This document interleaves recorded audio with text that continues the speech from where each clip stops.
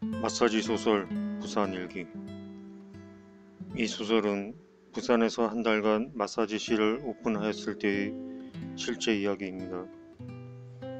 드디어 부산행 부산을 꿈꿔본 지 벌써 수년 전이었다. 굳이 서울에서 살아야 할 필요성을 못 느꼈기 때문이다.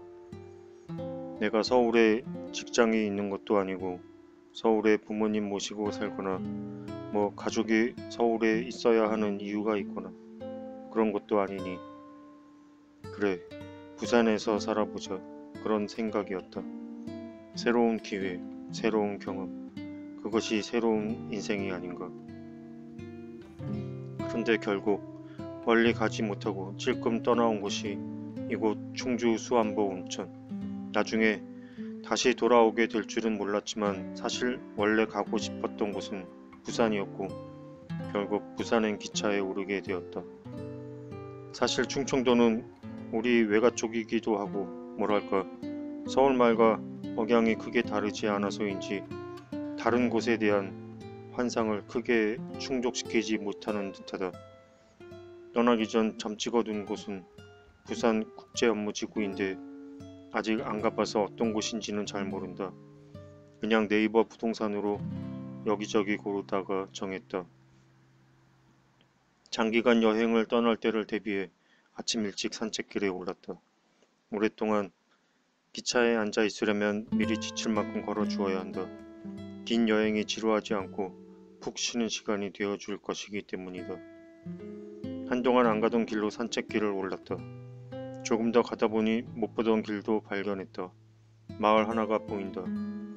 마을 쪽으로 올라가다 보니 한 영감님 한 분이 개 한 마리를 데리고 산책 중인 것이 보였다. 좀 더 다가가니 아는 사람이었다. 어? 여기 사셨어요? 음, 어쩐 일이야? 산책 나왔구나. 네, 이쪽은 처음 와보네요. 나이에 비해 정정한 몸집을 가지고 있었고 마사지실에 몇 번 왔었던 단골이시다. 저 다음 주에 마사지실 문 닫아요. 차나 한잔하고 가지. 영감님은 개의 목줄을 잡아 끌었다. 개는 가지 않으려고 거세게 버텼지만 이내 포기했다. 집에 가기 싫은가 보다. 영감님의 집은 지은 지 얼마 되지 않아 보였다. 마당에는 곱게 기른 잔디가 깔려 있었고 이쁜 파라솔도 있었다. 커피 줄까? 아니요, 커피는 잘 못하고요. 녹차 있어요? 녹차는 없는데 그럼 그냥 시원한 물이나 주세요. 영감님은 부산에 대한 정보를 전해주었다. 경상도 사람이 좀 드세. 네, 그건 알고 있어요. 여기보다는 부산이 훨씬 낫지. 근데 부산에서 마사지 하려면 조심해야 돼. 깡패들이 다 뜯어간다고. 거기는 다 그렇게 해. 조직이 있다니까. 헐, 소름. 그거야 여자들 고용해서 하는 데나 그렇지 뭐 남자 혼자 하는데 깡패들이 오겠어요? 마사지를 어떻게 혼자 해? 그래가지고 되겠어? 여자들 고용해서 해야지. 그래도 전 그냥 혼자 하는 게 편하더라고요. 하긴 자네 정도 실력이면 괜찮지. 영감님은 잔디의 잡초를 듣기 시작했고 나는 자리에서 일어났다. 밥 맛있게 뜸들여 놨는데 콧 빠뜨린 것 같은 기분이 든다. 뭐 파리에 갈 때에도 그런 소리는 들었었지. 휴대전화 할 때 뻑치기 당하니까 벽에 붙어서 하라고. 그렇다고 파리에 가지 못한 데가 아니지. 차표는 충주 대전 부산으로 잡혀 있다. 부산에 내리니 3시 30분. 어떻게 파리에 갔을 때보다 더 떨리는 것 같다. 부산역을 뒤로 하고 커피숍을 찾아 골목을 뒤졌다. 부산의 첫인상도 익히고 휴대폰 배터리도 충전을 해야 되었기 때문이다. 사실 나는 경상도에 대한 안 좋은 추억이 있다.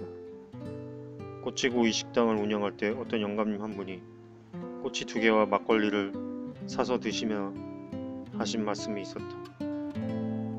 나는 경상도 사람 쪽이야. 아, 경상도 출신이세요? 근데 사투리를 안 쓰시네? 내가 경상도에서 태어난 건 아니고 난 서울 사람인데 경상도 사람이 나한테 맞다는 거야. 경상도 사람이 다 좋다는 건 아니야. 내가 사기를 당해도 경상도 사람한테 더 당했지만 그래도 경상도 사람이 차라리 낫다는 거야. 사실 어느 정도 공감은 가는 부분이 있다. 나는 사람들이 참 착하게 생겼다, 착하다, 순하다, 뭐 이런 이야기를 듣고 자랐지만 겉다르고 속다른 건지 내가 문제가 있는 건지 친구들이 이상한 건지 대인관계가 원만하지 못한 편이었다. 아니 뭐 저런 새끼가 다 있나? 아우 저 씹새끼, 개놈 새끼. 뭐 친구들이 다 그렇게 느껴졌고 언제나 인간이라는 존재에 실망을 안고 살았다. 이상하게 주변 친구들이 다 그랬다. 그런데 꼭 아 이놈은 좀 괜찮네 싶은 친구가 있으면 그게 경상도 사투리 쓰는 놈이었다. 경상도 아들은 찌질하지가 않고 통이 크며 남의 말에 시비를 걸지 않는 듯하며 먼저 베풀고 뒤끝이 없다. 그렇다고 하더라도 세상 사람들이 모두 똑같은 것은 아니다. 예외도 있을 것이며 누구는 이렇다 누구는 이렇다 하는 것은 편견에 불과할 것이다. IMF 바로 전 신설동에서 별평짜리 화실을 운영할 때였다. 나는 박질 경상도 놈한테 된통 당한 적이 있다. 내 화실은 신설동 로타리에 있었고 그 로타리 안쪽으로 들어가면 후미진 골목길이 하나 있었다. 그 골목길 안쪽에 코딱지만한 구멍가게가 하나 있었는데 얼마 전 주인이 바뀐 모양이었다. 흥미진 골목으로 들어가는 길은 개 있었는데 그 골목 앞 전봇대 앞에 얇은 찻받침 반쪽만한 플라스틱으로 만든 간판이 한 개 덜렁덜렁 달려 있었다. 그러던 와중 언제부턴가 그 간판이 보이지 않는 것이었다. 그러기를 한 20여일 지났을까 나는 그 자리에 내 간판을 걸어야겠다 생각하고 스티로폼을 이용하여 대충 만든 간판을 하나 만들어 달았다. 며칠 뒤였다. 문 앞에 붙여둔 종이 전화번호 하나를 누군가 떼갔다. 음, 누군가 왔다 갔나 보다. 그러더니 저녁 때쯤에 전화가 왔다. 전화번호를 떼간 사람은 구멍가게 아줌마였다. 왜 남의 간판을 떼갔냐며 달아놓으라는 것이었다. 내가 뛴게 아니라고 몇 번 설명을 했지만 막무내가였다. 나는 화가 머리 꼭대기까지 나서 슈퍼마켓에 찾아갔다. 왜 자꾸 전화해서 귀찮게 해요? 내가 뛴게 아니라니까요. 그런데 누군가 갑자기 튀어나와 나를 덮쳤다. 마치 독수리가 토끼를 채가듯 됐다. 그는 구멍가게 아줌마의 남편이었는데 내 목을 졸라서 길거리로 질질 끌고 갔다. 그리고 계속 내 목을 졸랐는데 너무 심하게 졸라서 나는 죽겠구나 싶었고 그 새끼는 그리 젊어 보이지도 않는데 웬 힘이 그리 센지 젖먹다 힘까지 다 짜내고 있는 듯 했다. 잠시였지만 억센 억양으로 보아 갱상도 놈이 틀림없는 것 같았다. 지 마누라한테 큰 소리 좀 쳤다고 죽기 살기로 덤비는 꼴을 보니 대견하다고 해야 하나 인물 났다고 해야 하나 지 새끼 지 가족은 끔찍게 생기면서 인류의 애라든지 동포의 박애정신 등은 눈꼽만큼도 없는 이차원적인 사고방식을 가지고 있는 하등의 인간임에 틀림없었다. 목이 졸려 죽어가는 과정에서 갑자기 어디선가 백마탄 왕자가 나타났다. 이것 좀 놓고 얘기하세요! 죽기 살기로 조르는 힘만큼 그도 죽기 살기로 그를 떼어내고 있었고 나는 그 덕에 풀려났다. 생전 보지도 못한 낯선 사람이었다. 힘께나 쓰게 생겼고 얼핏 송영길 정도로 보이는 깍두기 외모를 가지고 있었다. 그렇지만 고운 설말을 쓰고 있었다. 나도 서울물 먹고 자랐지만 서울 뺀질이 놈들한테 웬만해서 도움 받아본 적이 없는데 웬일인가 싶었다. 그에게 감사의 표시를 할 겨를도 없이 나는 그의 손을 빠져나가 경찰서에 전화를 하기 위해 화실로 돌아갔다. 이건 살인 미수나 다름없다. 그런데 화실 앞에는 이미 경찰들이 와 있었다. 무슨 말을 들었는지 경찰은 험악한 표정을 짓고 있었고 나와 슈퍼 영감은 같이 경찰서에 들어섰다. 그는 간판이 어제 없어졌다고 주장했고 나는 20일이나 지났으며 간판을 내가 뗀 게 아니라고 해명했다. 별말 없이 그리고 우리는 경찰서를 나왔다. 갱성도 영감은 나에게 중얼거렸다. 너 내 사촌 동생 중에 성질 고약한 놈이 있어. 당장 다시 간판 달아놔. 안 달아놓으면 너 다 박살나는 줄 알아. 네 간판은 물론이고 너도 무사하지 못해. 내가 경찰서에 매달 꼬박꼬박 돈 갖다 주고 있어. 경찰도 다 내 편이라고.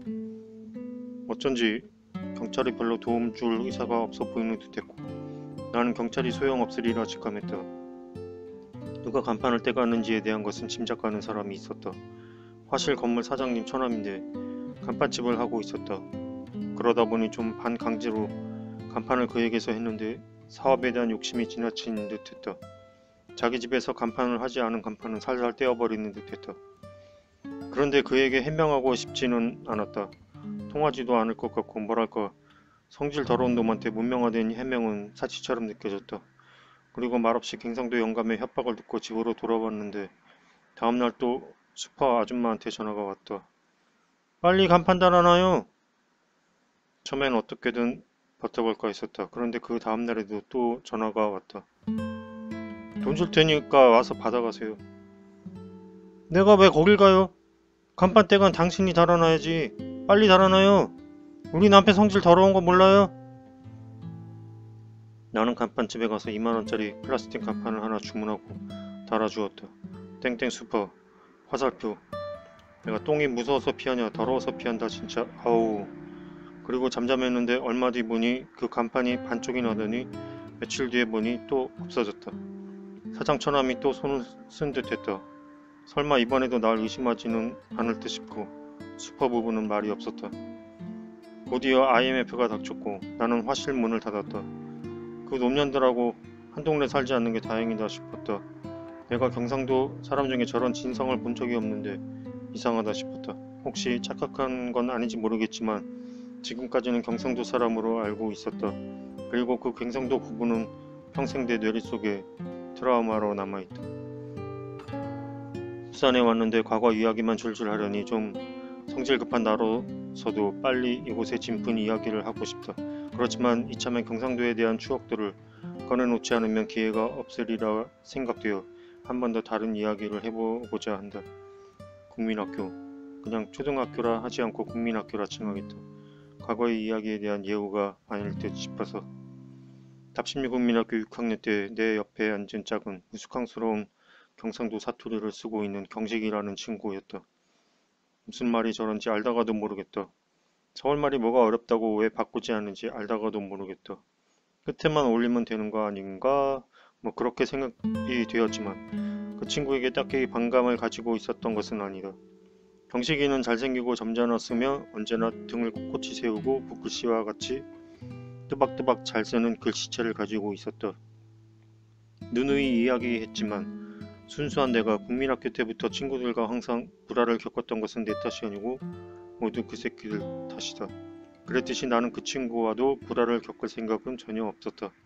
그렇지만 점잖아 보이는 그 친구도 다른 친구와 딱히 다른 상황은 아닌 듯했다. 언제 터질지 모르는 활화선처럼 조용한 분화구 속에 용암이 솟구쳐 오를 준비를 하고 있었다. 나는 경식이한테 그냥 별말하지 않았는데 그가 과민 반응을 일으키는 일이 잦아졌다. 뭐 내가 딱히 밉상이라거나 사람 성질 긁는 그런 스타일은 아니다.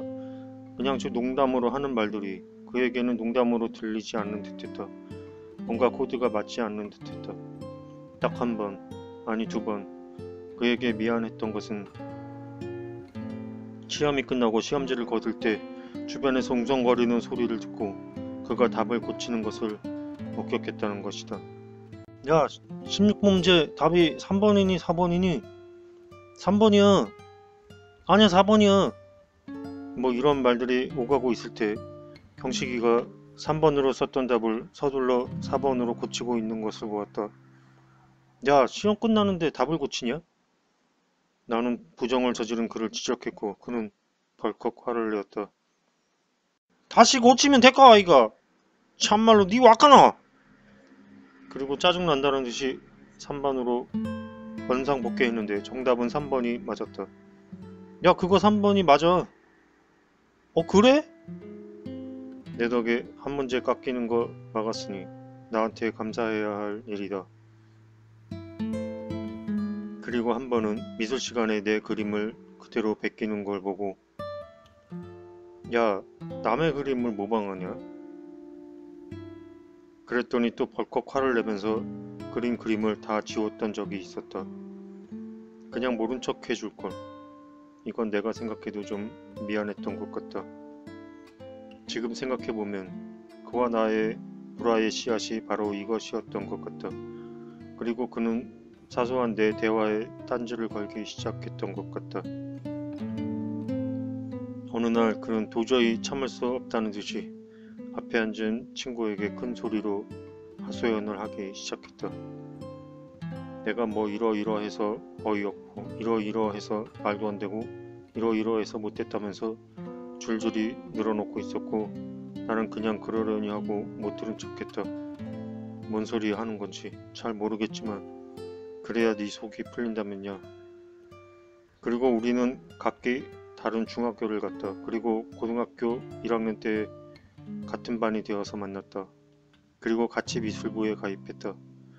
미술부 회원은 1학년만 8명 정도 되었고 매일 저녁 집에도 못 가고 밤 10시까지 그림을 그리다 가야 한다.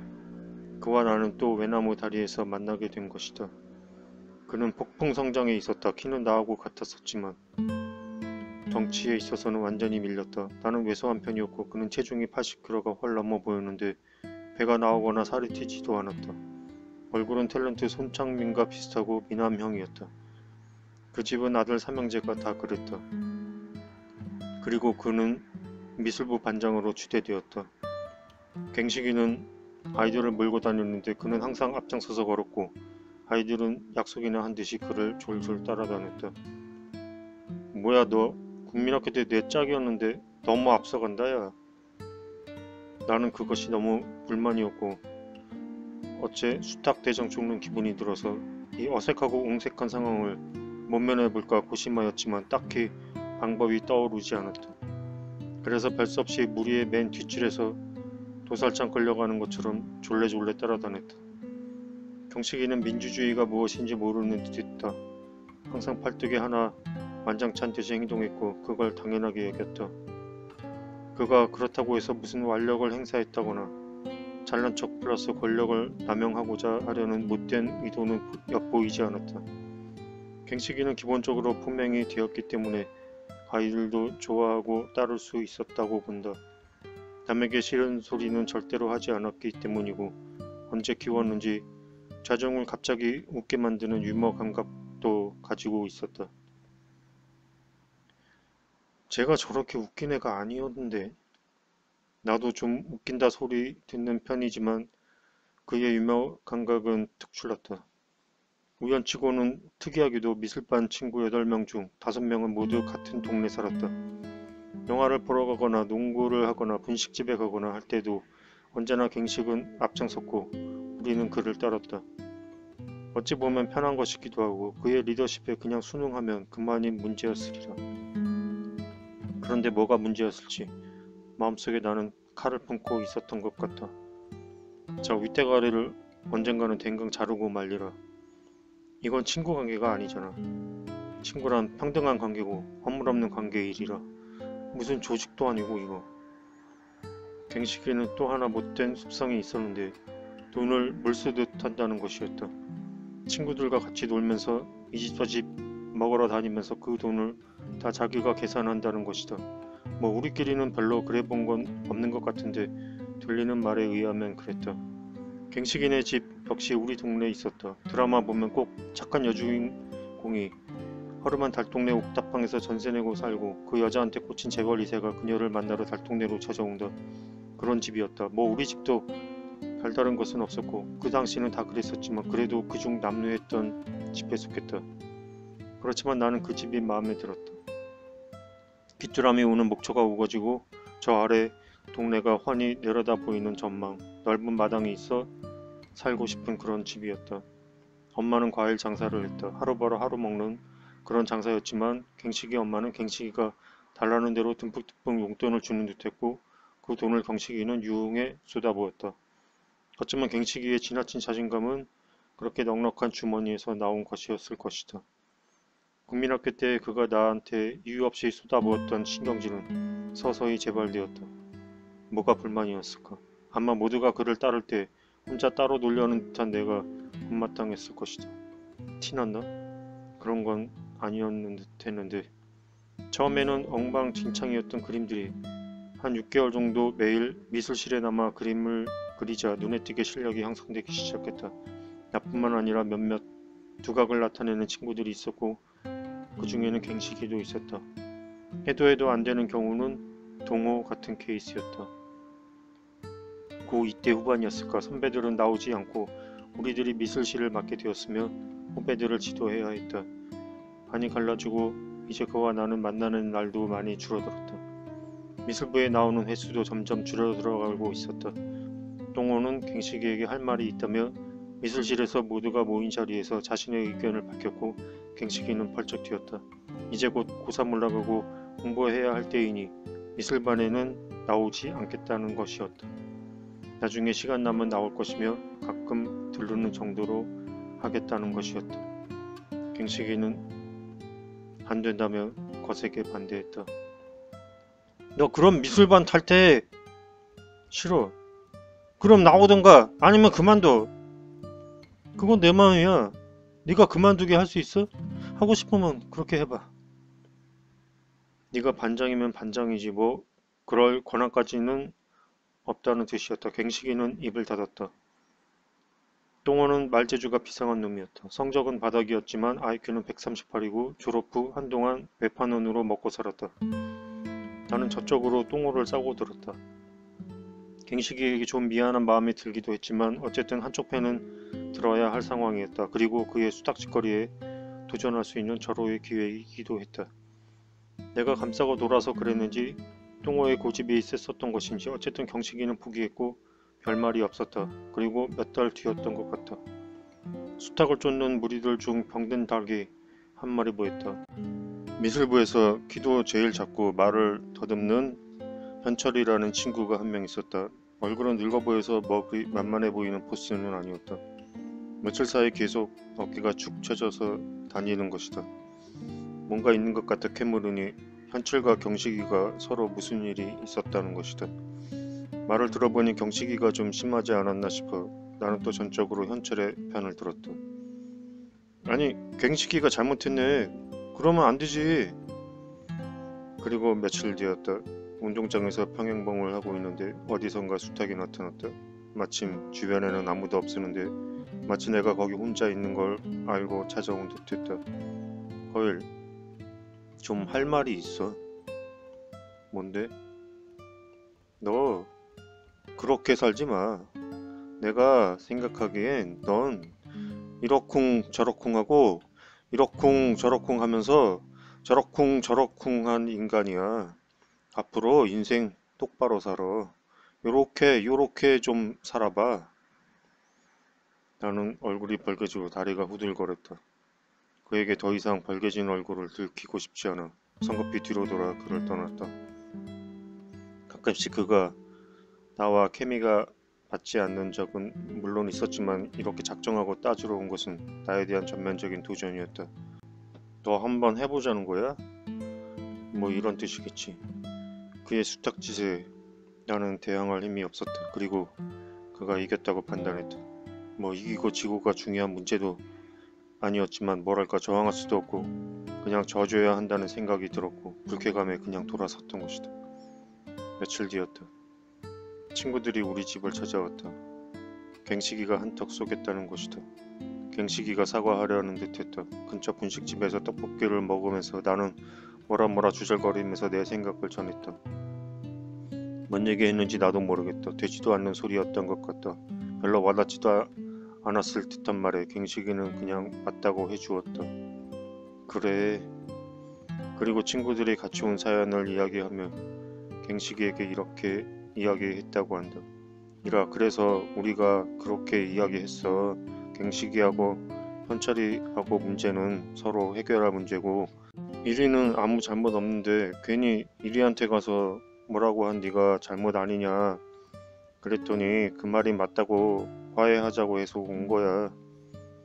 뭐 화해를 하건 사과를 하건 중요한 문제는 아니다. 살다 보면 티격태격할 수도 있는 것이 친구 아닌가. 나는 왜 그렇게 그의 공격에 당황했는지 모르지만 그럴 수 있다고 생각했고 그를 원망할 생각은 없었다. 그리고 단 한 가지. 나 또한 갱식이를 어느 정도는 인정해 주어야 한다고 느꼈다. 더 이상 그에게 도전하는 짓은 서로를 위해 피해야 한다. 그게 그를 위한 예우이자 배려일 것이다.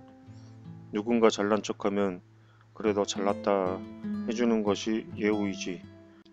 지랄하고 있네 하면 서로의 관계는 깨지는 것이리라. 그렇게 우리는 헤어져 집으로 돌아왔고 우리들의 관계는 정상화되었다. 지금 생각해보니 의아한 점이 있다. 어떻게 친구들이 그 사실을 알았는가 하는 것이다. 나는 최근까지도 낱말은 새가 듣고 반말은 쥐가 듣는다고 나와 갱식이가 다툰 걸 친구들이 귀신같이 우연히 알게 되어 마치 텔레파시처럼 공중에 둥둥 떠다니다가 누군가의 귀에 들어가서 알게 된 줄 알았다. 그래서 친구들이 갱식이를 탓하고 갱식이가 결국 친구들의 의견을 받아들여 사과하러 온 줄로 생각하고 있었다는 것이다.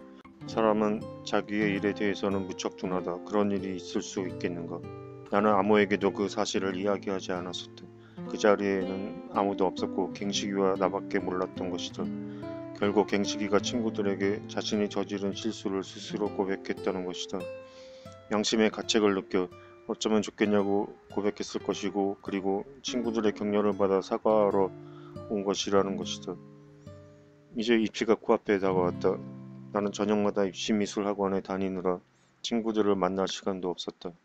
일요일도 화실에 나가는 것은 물론이었다.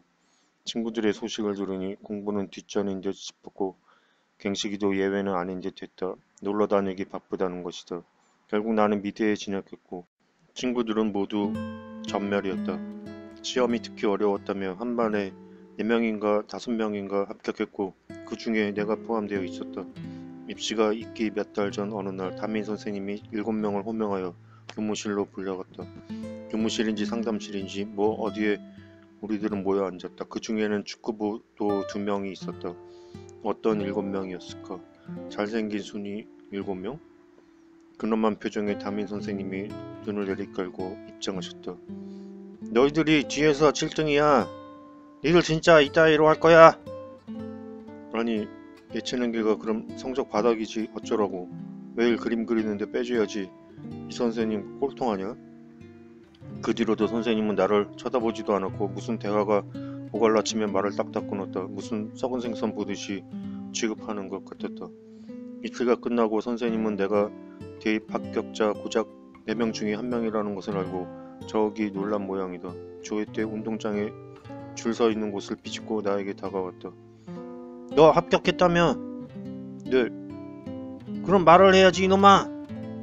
헐 관심도 안 갔더니 지금까지 내가 학력으로 밥 먹고 산 것도 아니고 그 잘난 학력이 무슨 소용이 있겠는가만 그건 가지고 있는 자의 여유일 것이며 가지지 못한 사람은 또 생각이 다를 것이라 본다. 특히나 문턱에서 좌절되고 난지 얼마 안 된 몇 년간은 큰 고통으로 다가올 것이다. 갱식이는 재수학원을 다니기 시작했지만 이제 술까지 배워 매일 술이나 먹고 당구나 치러 다니다가 비싼 학원비만 탕감했다. 발빠른 똥오는 전문대를 갔는데 4년제 대학에 넘어설 수 없는 컴플렉스를 느낀다고 고백했다. 재수에서도 낙방하고 갱식이는 군대에 갔다. 육군으로 갔는데 글씨를 잘 써서 행정반으로 배치되었다. 겉으로 보면 그는 바른 생활 사나이였다. 윗사람의 총애를 받아 말뚝박자고 유혹이 있었던 모양이지만 도저히 할 수 없다며 거절했다고 한다. 그에게는 지겹겠지만 밖에 있는 나로서는 시간이 휙휙 흘렀다. 제대가 6개월쯤 남았을 때였나 그에게 외문 편지를 한 통 보냈다. 경씨가 잘 지내고 있니? 나는 이러쿵이러쿵 살고 있어. 얘는 이렇게 살고 얘는 이렇게 산다더라. 그리고 얘는 리어카를 사다가 과일 장사를 한다고 해. 그렇게 나는 미술반 친구들의 소식을 전했다. 모두 갈 곳 없어 방황하는 모습이 안타깝게 느껴질 뿐이었다. 학교 다닐 때 네가 제일 멋있었는데 나와서도 계속 그렇게 살아야지. 열심히 하고 조만간에 보자. 처음으로 나는 그를 인정했던 것이고 착한 일을 한 듯 마음이 뿌듯해졌다. 그리고 그에게도 큰 위로가 되었으리라 생각된다. 제대에서 만났을 때 내 글이 재밌었다며 치하해 주었다. 그는 제대했지만 방황은 멈추지 않았다. 이제는 무슨 시험 공부를 한다고 집에서 틀어박혀 있어 보기도 하고 그러다가 노가다를 한다고 하기도 하고 그랬다. 우리는 거의 만날 일이 없었다. 나는 답심리를 떠나 멀리 상계동으로 이사를 갔다. 상계동은 똥호가 살고 있는 곳이었고 똥호와의 만남은 잦아졌다.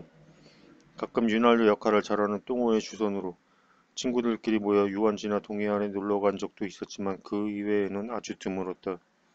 그러다 한 번은 누군가의 결혼식 때 친구들이 모였고 그때 갱식이를 보았다. 갱식이는 집에서 한 6개월간 공부만 하고 있었는데 미칠 것 같았다면서 뭘 해야 할지 모르겠고 답답하다고 하소연했다. 대학이라는 것은 뭐 다른가? 그냥 놀러 다니는 곳이 대학이다. 그렇지만 시기를 놓친 젊은이에게는 논다는 것이 나고자로서 패배감 속에서 화송세월하는 것이고 알량한 대학생은 인생의 황금기를 즐기는 노름이다. 그와 나는 하나도 다를 것이 없지만 그에게는 큰 고통이었을 것이다. 똥우는 말재주를 살려 외판원으로 꽤 짭짤하게 돈을 벌었다.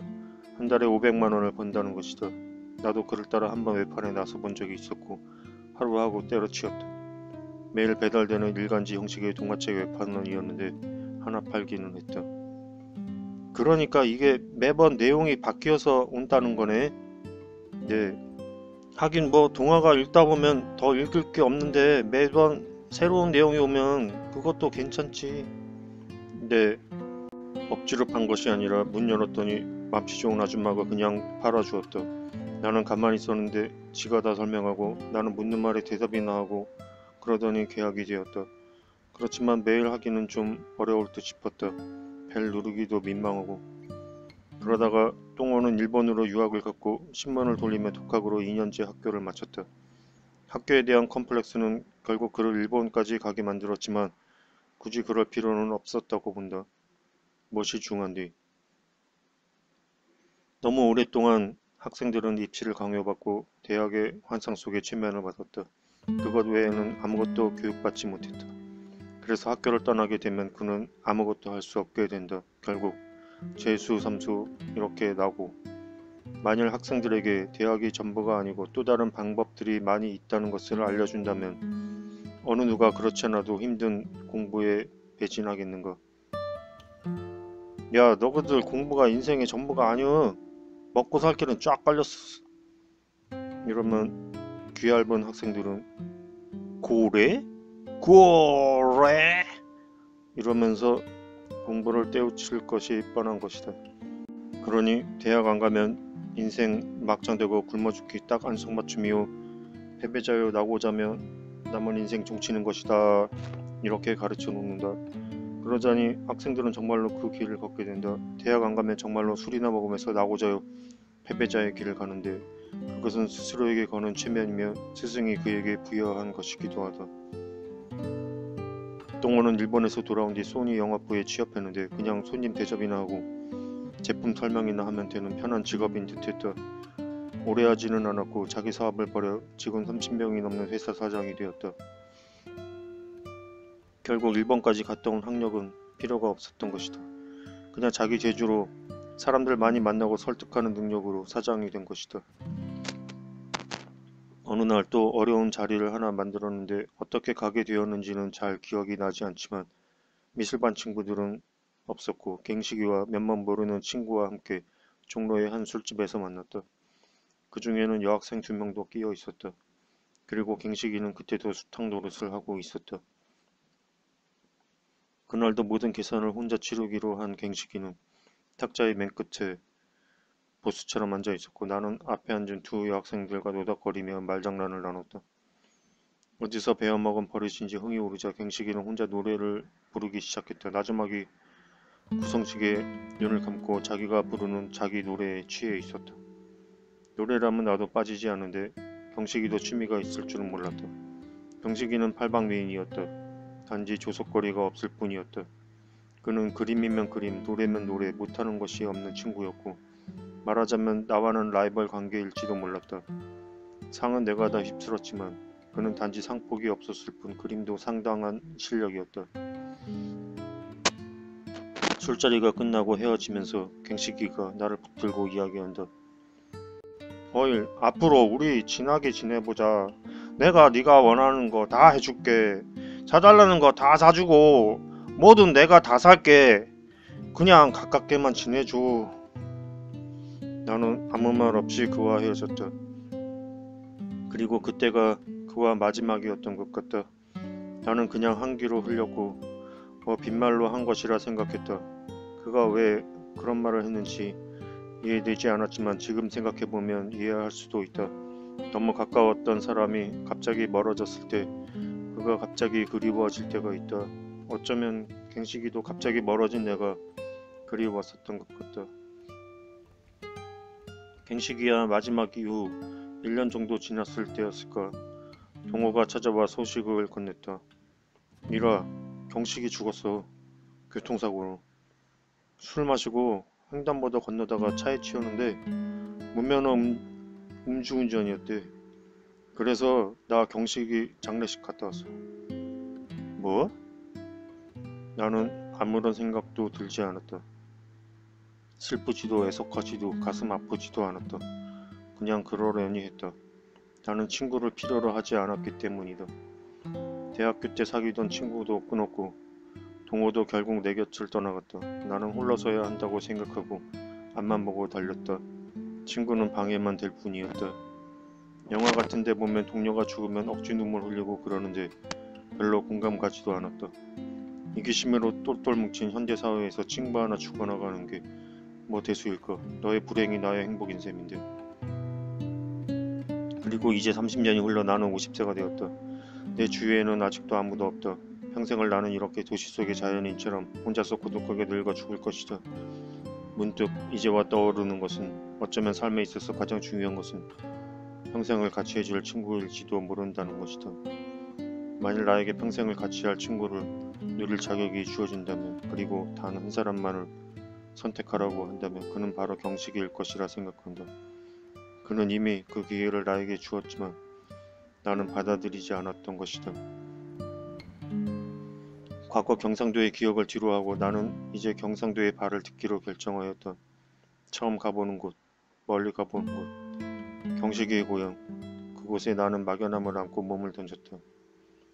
부산에 내리니 서울 공기와 뭔가 다른 느낌을 감지할 수가 있었다. 바닷바람인지 서울보다 살짝 습기가 많고 부드러운 듯한 공기. 그것은 경상도 사람들의 성격과도 비슷해 보인다. 경상도 사람들은 부드럽다. 멍미? 경상도 사람들이 부드럽다고 이 대구박에 종 맞았나? 그렇다. 경상도 사람들이 사납다, 억세다 뭐 이런 말들은 편견이다. 경상도 사람들은 어딘가 모르게 부드러운 면이 있다. 한 가지를 보고 열 가지를 직감하는 것, 그것이 바로 점의 원리일 것이다. 반드시 점쟁이가 아니더라도 직관력이 발달하면 남들이 모르는 것을 예측할 수 있게 된다. 점이라는 것은 어디서 신이 귓속말로 알려주는 것이 아니다. 세상의 모든 것은 우연이라는 것이 없으며 모두 연결, 연결되어 있다. 물 속에는 물고기가 살게 되어 있으며 하늘에는 날개를 단 새가 살게 되어 있는 것이다. 그것이 바로 직감이라는 것이다. 부산역은 깨끗했고 생각보다 깔끔함에 놀라는 나 자신이 우습게 느껴진다. 혹시 70년대 청량리 정도 될 거라고 생각했어? 그럴 리가 없지. 요즘이 어떤 세상인데 하긴 그렇게 생각할 수밖에 없는 것이 종로만 가도 노후한 건물들이 수두룩하기 때문이다. 깔끔한 것을 원해 부산에 온 것은 물론 아니다. 원래 좀 어수선한 것에 매력을 느끼기는 하지만 깔끔한 부산이라니 뭐 나쁘지 않다. 비린내 나는 보드가루 비겁하다 욕하지마 뭐 이러면서 70년대 만화 속에 나오는 그런 시장 골목을 연상했다면 기대는 접어야 할 것이다. 뒷골목을 걸으니 노후하거나 지저분한 건물이 하나도 없다. 전봇대는 모두 파랗고 이쁜 그림에 인쇄된 고무로 둘러싸여 광고물이 붙어 있지 못하도록 되어 있다. 큰일이다. 전봇대 광고 좀 해볼 참이었는데 우선 휴대폰 충전을 하기 위해 커피숍을 찾았고 이디야가 눈에 띄었다.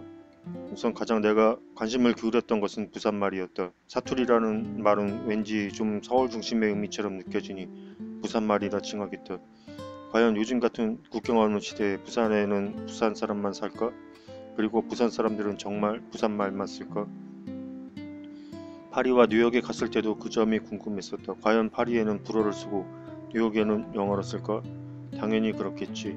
그런데 그게 당연하게 느껴지지 않는 것이었다. 하루아침에 파리에서 뉴욕으로 건너가니 지역이라는 것이 의미 없게 느껴진다. 그러니 꼭 파리에서 불어를 쓰란 법 없고 미국에서 영어를 쓰란 법 없을 것처럼 느껴진다. 그런데 정작 가보니 미국에서는 영어를 쓰고 파리에서는 불어를 쓰더라는 것이다. 그런데 이번에는 국경도 아니고 한 나라 안에서의 경계에 불과하다. 부산에는 정말 부산말을 쓸 것인가? 제발 부산 사람은 부산 말만 쓰기를. 그래야 멀리 온 보람이 있을 것 아닌가?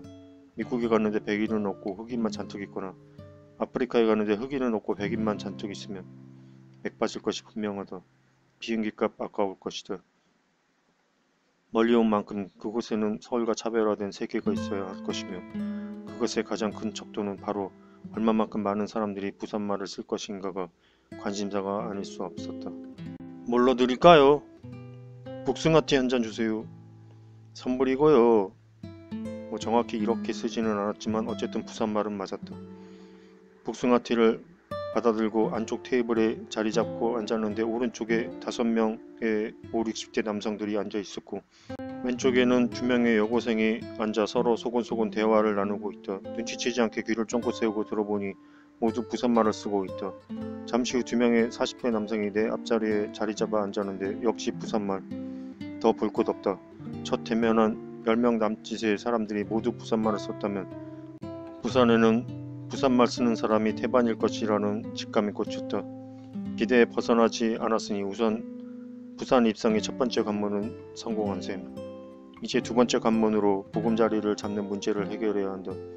이 또한 기대에 따라줄 것인가. 집 목구에서 찜질방 전전하다가 개털 날리면서 서울로 쫓겨오는 것은 아닐까. 부산역 건너편의 로데오 거리를 잠시 둘러보니 그리 멀리 돌지도 않았건만 마사지 업소가 대여섯 개 눈에 들어온다.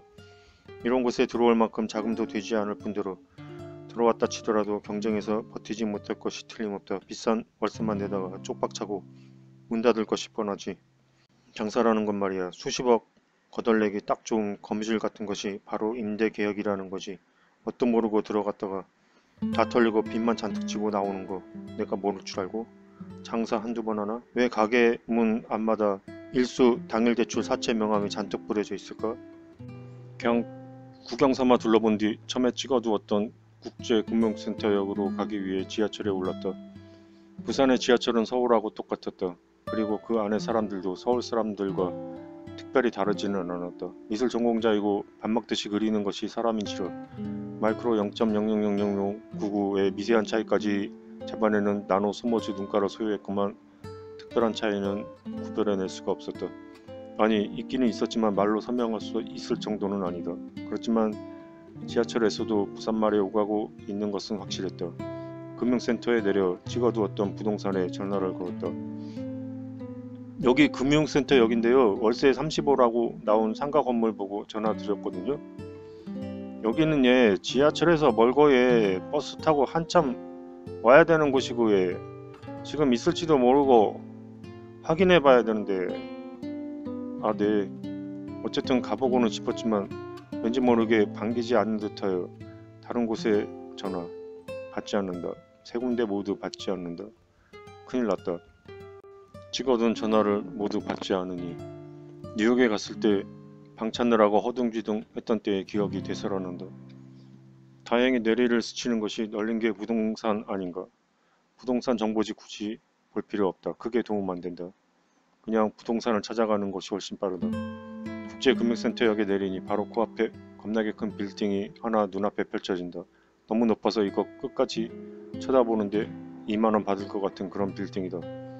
주위를 둘러보다가 그 건물 바로 옆에 어우러져 있는 어느 빌딩 안으로 들어갔다. 유리로 된 빌딩인데 이곳에다가 자리 잡으면 장사 잘 될 것 같은 그런 건물이었다.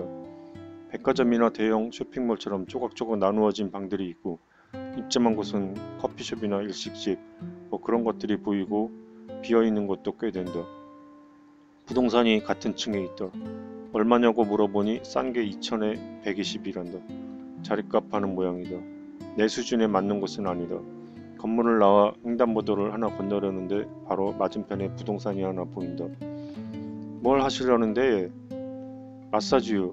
뭐 한 천에 50 정도면 될 것 같은데 상가면 좋고요. 없으면 오피스텔이라도. 부부는 이것저것 상의하더니 쓸만한 장소를 선점하기 위해 잠시 머리를 굴리는 듯하더니 바로 근처의 한 오피스텔로 나를 데려갔다. 오피스텔의 외관은 화려하고 쌈박했다. 그곳의 1층 엘리베이터 옆에 한 사무실을 보여주었다. 코딱지만 하지만 bed 두 개를 놓기에는 문제가 없어 보였다. 샤워실은 없지만 이동형 샤워실을 하나 설치해도 된다. 뭐 괜찮네요. 여기로 할게요. 그런데 결정적으로 환풍기가 없어 밥해 먹기는 어려워 보였다. 그러자 이번에는 9층의 오피스텔을 보여주었는데 크기는 비슷해 보이지만 샤워실, 세탁기, 냉장고, 에어컨 등 모든 것이 빌트인 되어 있어 더 쓸만해 보인다. 10년 전 강남 쪽에 built-in된 오피스텔에 안 살아본 건 아니지만 그때는 에어컨이 벽걸이 노출형이었는데 여기는 에어컨도 천장형으로 매립되어 있다. 심지어 화장실 휴지거리도 매립되어 있다. 오피스텔도 많이 진화한 듯하다. 게다가 건물 구조가 무척 특이하다. 가운데를 엄청 비워놓고 건물 안에 나무가 자라고 있다. 일부 햇빛을 덜 받아 누렇게 죽은 나무들이 있어 시행착오가 엿보이기는 하지만 시도가 가상하다. 그 안을 메꿔놓고 방을 더 지었어도 될만해 보인다. 손에 감싸고 지은 듯하다. 무엇보다도 마음에 드는 건 넓은 창문과 시원한 전망. 을지로의 오피스텔은 창문이 여기와 비슷했다. 강남의 오피스텔은 창문이 있기는 있었던 것 같았는데 앞 건물에 바로 막혔다. 수안보에서는 창문이 책상 서랍 늘어놓은 것만 했는데 얼마나 답답했는지 1년 살고 나니 창문의 중요성을 절실히 실감하게 되었던 것이다.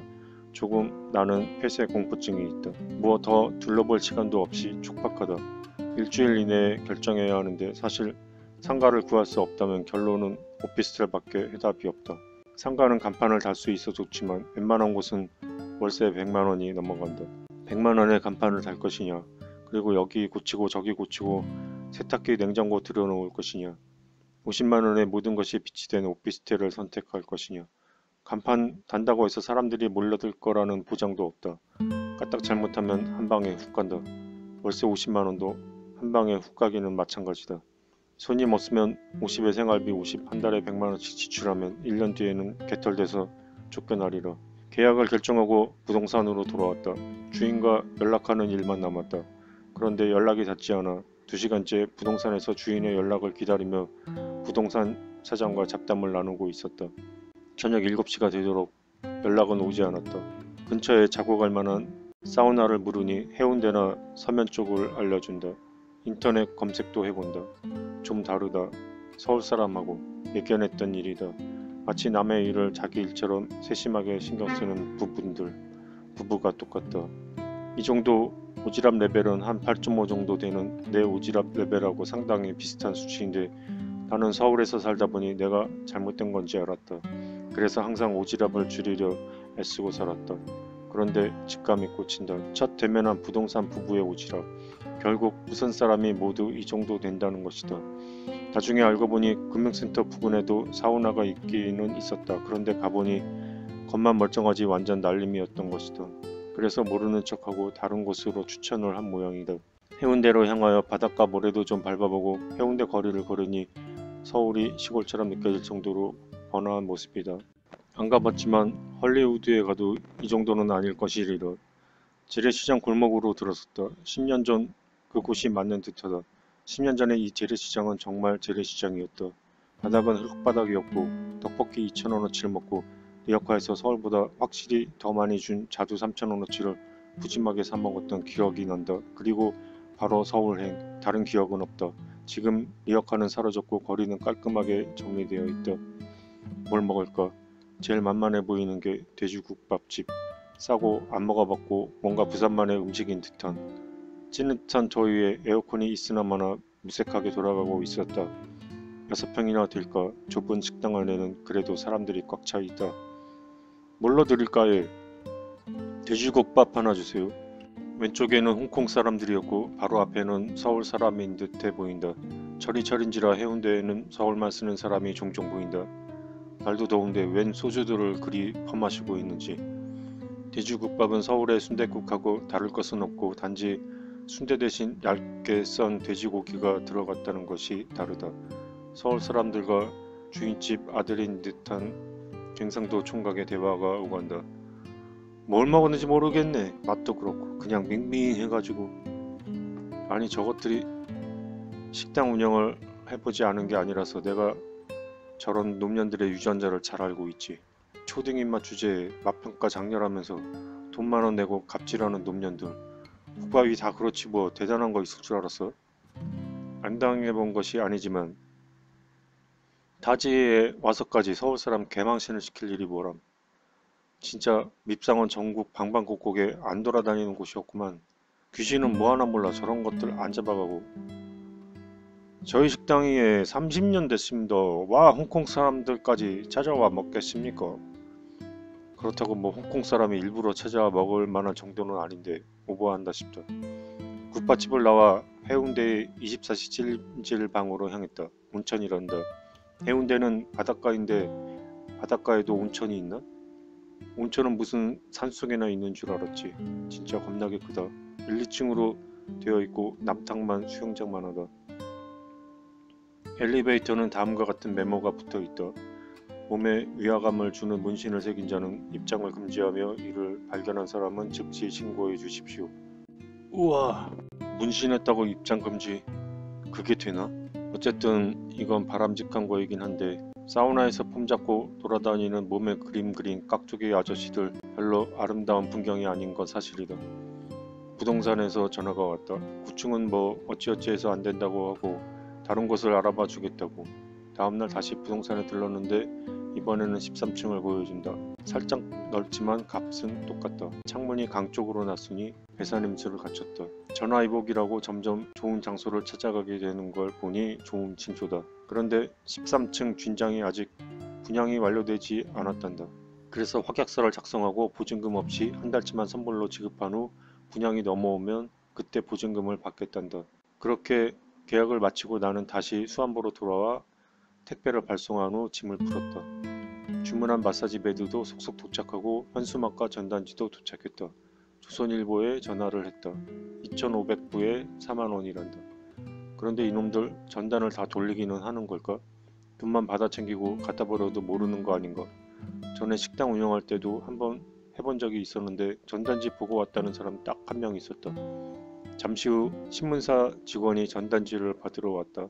10분 후 도착한다더니 정말 딱 10분 거리인가 보다. 혹 갱식아! 갱식의 얼굴과 똑같은 것이다. 경상도에 와서 갱식이를 다시 만날 줄은. 다음날 아침에는 그것도 새벽부터 현수막 작업에 들어갔다. 전봇대에 현수막 거는 것이 보통 만만한 작업이 아니다. 하루 두 개 걸고 나면 끝이다. 다음날로 패스. 10개 다 걸려면 아직 멀었다. 이것저것 바쁘다. 정신없이 2, 3일이 흘렀다. 예쁜 마사지실이 완성되고 금융센터가 바라다 보이는 넓은 스카이라인을 바라보며 잠시 생각이 잠겼다. 수안보에서 여기 오기 한 2년 전부터 내리 꾸어 왔던 꿈이 있었다.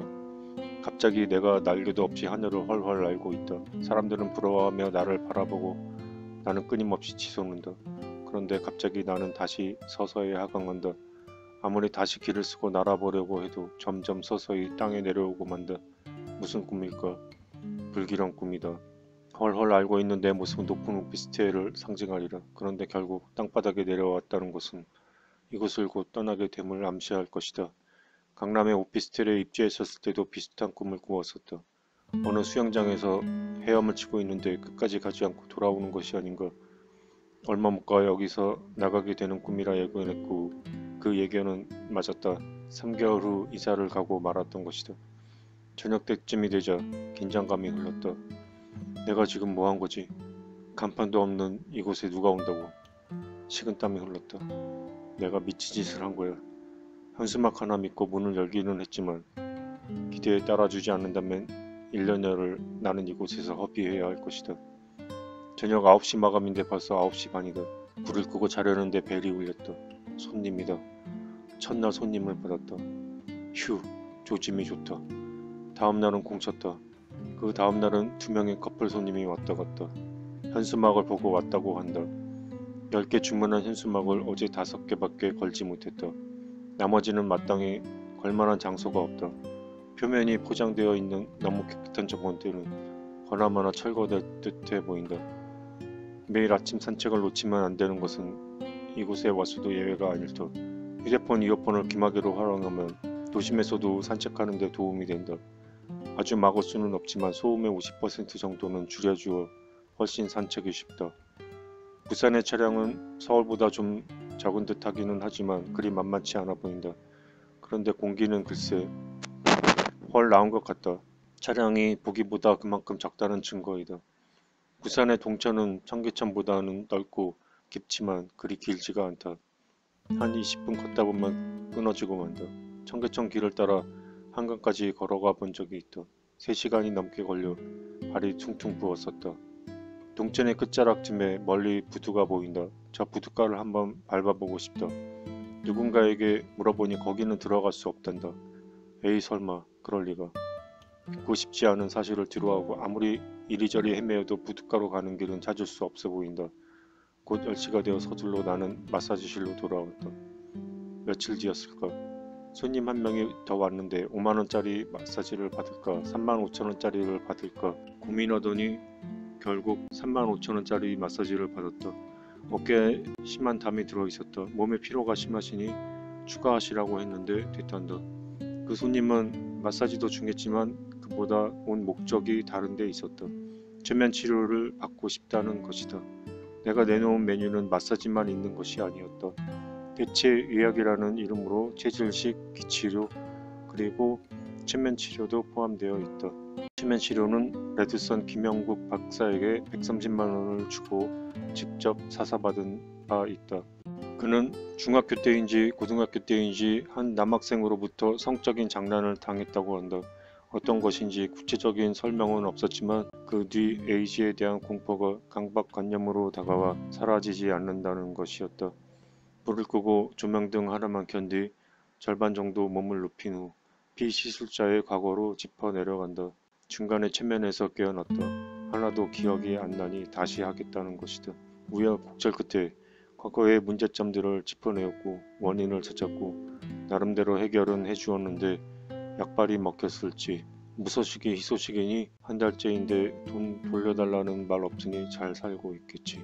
좀 이해가 가지 않는 점은 남성에 대한 두려움으로 인해 최면 치료를 받으면서 왜 남성이 내 앞에서 옷을 모두 벗고 마사지를 받는 것에는 거부감이 없었던 것인지 좀 의아한 일이다. 숙취를 해장술로 다스리려는 심리의 하나였을까. 부산의 해운대는 가봤고 이제 어딜 좀 가봐야 좀 더 부산을 쉽게 알 수 있을까. 금융센터 부근의 지하철역, 서면, 범내골, 범일 등등 모두 훑어봤다. 지하철과 지하철 간의 거리가 짧아 걷다 보면 지하철이 나온다. 김해공항 쪽으로 한번 가보기로 했다. 김해공항은 아무래도 공항이니 사람들의 여독을 풀 장소가 필요할 것이고 호텔들이 밀집해 있으리라. 마사지 장소를 물색할 때 금융센터 다음으로 찍어두었던 장소이다. 웬걸? 웬 주차장만 잔뜩 있고 아무것도 없는 것이었다. 그래도 식당은 몇 군데 있어 밥 한 끼 사먹고 돌아왔다. 식당은 간단한 뷔페식이었고 싸고 맛있었다. 밥 먹고 있는데 전화가 울렸다. 지하철 관리소였다. 사장님 죄송한데 예 안테나에 걸린 현수막 좀 철거해 주이소. 다른데 단건 우리가 뭐라 말하지 못하겠고 예. 그건 안테나라서 예 거기는 걸면 안 되거든 예. 아 예 오늘 저녁쯤에 철거해 드리겠습니다. 부쩍 정중하게 요청해 오시길래 그리 기분 나쁘지는 않았지만 좀 낭패다. 눈에 가장 잘 띄는 장소였기 때문이다. 세 군데는 말도 없이 철거해갔다. 이제 남은 현수막은 4개 정도였다. 날개에 힘이 빠지고 있다. 점점 나는 내려오고 있다. 돌리는지 안 돌리는지도 모르는 전단지를 돌리기에는 지출이 너무 크다. 이제 믿을 건 남은 현수막과 명함뿐이다. 아침 산책길에 오르면서 명함 한 통을 가지고 나가서 모두 뿌리고 돌아온다. 부산의 거리는 대도시의 느낌만 있을 뿐 골목 상권이 없다. 골목 상권은 모두 산으로 올라가 버렸다. 오피스텔 13층에서 내려다보면 뒤쪽으로 주택가가 밀집해 있다. 그런데 꽤 높아 보인다. 저런 달동네에 상권이 있을 리가 없다. 선뜻 발길이 가지 않는다. 그렇지만 오늘은 한번 달동네 마을을 밟아보기로 했다. 아니 헐 이럴 수가. 오피스텔에 처음 입주할 때였다. 이삿짐을 모두 박스에 넣은 뒤 택배로 보냈다. 서울에서 수안보로 이삿짐 센터에 맡기니 30만 원이 들었다. 그런데 택배로 처리하니 8만 원에 끝이다. 그 중에는 인터넷으로 주문한 복숭아 두 짝도 있었다. 60대쯤 되어 보이는 관리소장한테 전화가 왔다. 딱 한 번 안면이 있었다. 택배 왔는데 예, 복숭아는 예, 냉장고에 집어넣었고 예, 일단은 냉장고 전원을 켜두었어요. 예. 날이 더워서 금방 썩어 비거든 예. 아, 예, 감사합니다. 세심한 데까지 신경 써주는 센스가 놀랍다. 도착해서 복숭아 한 짝은 소장님께 드려야겠다. 두 짝 다 드릴까? 한 짝만 드릴까? 너무 오버하는 것도 뭐하니 한 장만 드릴까? 혹시나 해서 개봉해보았다. 괜히 고민했다. 몽땅 썩어 있었다. 안 썩은 것만 골라 출연해니 6개 정도. 그릇에 담아 경비실로 내려갔다. 소장님 복숭아 한 짝 드리려고 했는데 두 짝 다 몽땅 썩었어요. 안 썩은 것만 골라왔거든요. 소장님은 무척무탄 미소를 지으시고 복숭아 6개를 감사한 듯 받으신다. 사람이 산다는 것은 결국 너와 내가 사는 것이며 서로 소통하는 것이다. 이웃집에 누가 있는지도 모르고 최소한의 도움마저 거절하며 얼굴만 보면 찬바람 쌩쌩 부는 그런 곳에 살면 행복할 수 있을까? 내가 남을 돕는다는 것으로 그가 얼마나 도움을 받을까? 그렇게 크다고 보지는 않는다. 꼭 도움을 받아 먹어야겠다는 것이 아니라 서로 서로 도와가면서 거기서 소통과 애정이 발생하는 것이며 그것이 사람 사는 것이 아니겠는가? 오지랖 넓은 부산이야말로 내가 찾던 곳이며 보금자리를 틀 만한 가치가 있는 곳이다. 어느 곳에 살던 행복한 곳에서 살아야 하며 그것은 물질적인 가치가 아니라 주변 사람들의 인간적 환경을 보아야 하리라. 풍수책을 하나 구입해 읽었는데 그곳에도 그런 말이 나온다. 아무리 풍수가 좋다 한들 주변 사람들이 자신과 맞지 않으면 머물지 말고 떠나라는 것. 부산의 달동네는 달동네가 아니다. 서울의 달동네는 빈촌이다. 완전 찌그러진 판잣집이 아니면 달동네에 없는 경향이 있다. 부산의 달동네도 뭐 그리 부촌이라 할 수는 없지만 서울의 달동네처럼 빈촌이 모여 사는 곳은 아니다. 그곳은 원래 평지가 귀하니 일반 주택들이 산으로 올라가 버린 것이다. 한 3분의 1 정도 갔을까 그만 내려올 수밖에 없었다. 경사가 무척 가파르다. 좋게 45도를 넘어 50도는 되어 보인다. 뭐 올라가다가 좀 평평하다 다시 올라가는 것도 아니다. 쭉쭉 올라간다. 계단이 있는 것도 아니다. 그 위에 슈퍼도 있고 세탁소도 있고 병원도 있고 웬만한 것들이 다 있다. 이건 히말라야 등산하는 거지 어떻게 다니라는 거야. 버스 타거나 가면 모를까. 마을버스가 가파른 경사를 타고 꼭대기까지 오를 수 있을지 모르겠다. 부산이 이런 환경이라는 것은 한 번도 생각해 본 적이 없다. 그래서 여행이란 중요한 것이다. 아무도 들려주지 않는 이야기가 여행을 통해 드러난다. 부산은 평지가 귀하다. 그러다 보니 평지는 점점 비싸지고 높은 건물들이 들어선다. 서울보다 더 번화해진다. 평지에 대충 집 짓고 사는 그런 곳은 서울에서나 가능하지 부산에서는 가능하지 않다. 그냥 가정집은 산에나 올라가야 지을 수 있다. 즉 산민적 환경과 기업화된 도시가 어우러진 모습이 아니라 두 개가 극명하게 갈린 형태로 나타난다. 이것이 부산의 실체였다. 요즘은 평지에 아파트가 많이 들어섰기는 하겠지만 그래도 택도 없어 보인다. 다 좋다. 그렇지만 산은 산으로 남겨두었어야 했다. 이건 산에 대한 예우가 아닐 것이다. 산의 머리 꼭대기에 깍두기 머리처럼 풀이 자라고 있고 그 아래는 모두 지핀 형태이니 산의 녹지를 모두 훼손한 셈이다. 그리고 인간에 대한 예우도 물론 아니다. 너무 경사가 심해 한번 집에 들어가면 다시 나와 돌아다닐 수 없을 듯하다. 학교 가거나 직장 때문이라면 모를까 괜히 산책하러 나섰다가는 바로 등산이 된다. 어쩌면 부산 사람들의 오지랖은 이렇게 험준한 산을 오르락 내리락 하면서 형성된 것이 아닐까. 무엇인가를 하려면 발품을 팔아야 한다. 먼저 몸을 움직여야 한다. 그러니 무엇이든 능동적이 된다는 것이다. 평평한 곳에서 사는 서울 사람들은 굳이 자기 몸 움직여서 뭘 하려 들지 않는다. 받아 처먹을 줄만 알고 남 눈치만 보며 남이 뭔가 해주길 기다린다. 즉 너무 편히 살다 보니 뺀질이가 된 것이다. 뭐든 자기 중심적, 이기적, 수동적, 피동적 이런 모습으로 바뀌어 간다. 비를 물어도 서울 사람들과 부산 사람들의 대응 방법은 차이가 있다. 물론 서울 사람들도 길 물으면 가르쳐 준다. 알면서 안 가르쳐 주는 사람은 없을 것이다. 그렇지만 살짝 다르다. 이쪽으로 쭉 가시다가 예, 오른쪽 길 나오시면 꺾고 예, 가다 보면 시집이 있고 예, 거기서 100m쯤 가다가 예, 다시 왼쪽으로 돌면 부동산 있습니다. 그 부동산에서 팍 꺾어 피면 예, 골목 두 개가 나오는데 두 번째 골목에서 살살 걷다가 예, 큰 길 나오면 막 거기서 서면인데 예, 신호등 바뀌네 퍼뜩 뛰가서 부산 도착 전날에는 마침 부산행 영화가 막 상영 중이었다. 부산에 와서 부산행 영화를 보니 감회가 새롭다. 웬만해서 좀비 영화하고 뱀파이어 영화는 안 보는데 부산행은 재미있었다. 국내에서 처음 시도하는 좀비 영화여서 그런지 그리 식상하지는 않았다. 부산행을 본 후 느껴지는 것이 있다. 왜 제목이 부산행이었을까? 단지 서울에서 기차로 이동하자니 부산이 머니까 부산행이다. 좀비는 서울 뺀질이들을 의미한다. 뺀질이들은 자기밖에 모르고 남은 뒷전이며 영혼은 죽었다. 행복하려 길을 쓰지만 행복하지도 않으며 살아있으되 사는 것이 아니다. 그러니 딱 좀비에 비할 수 있다. 좀비는 전염된다. 문명화된 세계에서 사람들의 차갑고 냉혹한 감성은 점점 퍼져나간다. 그런데 부산에는 좀비 바이러스가 전염되지 않았다. 아직 남을 먼저 생각하고 배려하는 따뜻한 마음이 남아있기 때문이다. 그래서 영화는 부산행이 된 것이다. 분명 작가는 서울 사람들과 부산 사람들의 극명한 차이를 잘 알고 있었으리라 짐작한다. 떡볶이를 먹으러 재래시장에 갔다. 한번 맛본 그 맛을 잊을 수 없다. 어렸을 때 떡집에서 떡을 사다가 해먹던 집에서 먹던 떡볶이 맛. 다행히 평지에도 재래시장이 있기는 있다. 서민적 풍경이 대부분 산으로 올라갔다 했지만 그래도 재래시장은 평지의 자리를 지키고 있다. 부산의 떡볶이는 서울의 떡볶이와 완전히 다르다. 냉장고에서 3년 지난 떡이 아니라 금방 뽑은 듯한 진짜 떡이 들어간다. 언니야, 접시 갖고 오라 안 해나?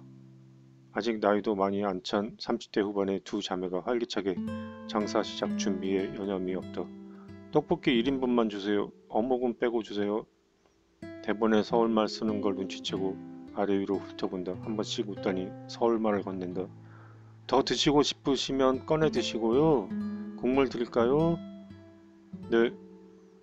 여름철 해운대를 제외하고 부산에는 서울 사람이 극히 드물다. 서울에 사는 부산 사람들보다 부산에 사는 서울 사람이 더 적은 듯 싶다. 그래서 서울말을 쓰면 곧 멈칫하며 외국인 보듯 쳐다본다. 가끔 내가 서울 사람인 것을 알고 서울 말로 바꾸는 부산 사람들이 있다. 굳이 안 그래도 되는데 이번 참에 한번 서울말 쓰고 싶은 모양이다. 파리에 가면 사람들이 처음에는 불어로 쓰다가 곧 영어로 바꿔 말한다. 배운 거 써먹어야 되니 입이 근질근질한 것이다. 프랑스 사람이 자존심 강해서 영어 쓰면 개무시한다는 건 옛말이다. 부산의 동천은 무척 짧아 산책하려면 뱅글뱅글 돌아야 한다. 부둣가는 끝내 밟을 수 없었다. 도심 한복판에는 산책할 만한 공간이 없다. 부산은 그냥 도심이었다. 자연과 어우러진 공간이 없다. 서울보다 더 심한 도시 공간. 길을 걸으면 찻소리, 높은 빌딩, 포장된 도로, 이마트, CGV, 프랜차이즈 식당, 프랜차이즈 술집, 프랜차이즈 커피숍 그런 것들로 꽉 차서 빈틈이 없는 도시. 그것이 바로 부산이었다. 바닷가는 해운대로 프랜차이즈화되어 있다. 명동이 분점된 도시. 그것이 바로 부산이었다. 그나마 조금 위안이 된다면 서울보다는 공기가 좀 낫다. 그런데 한 번은 갑자기 미세먼지가 몰려왔는지 하늘이 희뿌옇게 변했다. 4시간 동안 거리를 헤매고 나자 숨이 막히는 듯했다. 그날 이후 기침이 멎지를 않는다. 미세먼지 때문에 폐가 망가졌구나 싶었다. 옥상에 올라가 보니 생각지도 못했던 멋진 옥상 정원이 마련되어 있었다. 피해도 안 좋으니 아침 산책은 여기서 해도 되겠다. 미세먼지는 옥상에 있는다고 사라지는 것이 아닐 테지만 그래도 차 다니는 평지보다는 여기가 한층 나으리라. 동천 돌듯이 뱅글뱅글 도는 수밖에 없다. 옥상 정원과 뻥 뚫린 건물 사이로 자라는 식물들 이 오피스텔은 생각해보면 정말 내가 꿈꿔왔던 그런 건물이다. 내가 만약 건축을 한다면 반드시 옥상에는 정원을 만들리라. 그런데 내가 걱정 안 해도 누군가 이미 이렇게 멋지게 만들어 놓았다. 구멍 숭숭 뚫린 화강암으로 만든 벽도 그러하다. 2층에는 공용 헬스클럽이 있고 월 1만 5천 원에 이용 가능하다. 며칠 동안 기침이 멎지를 않는다.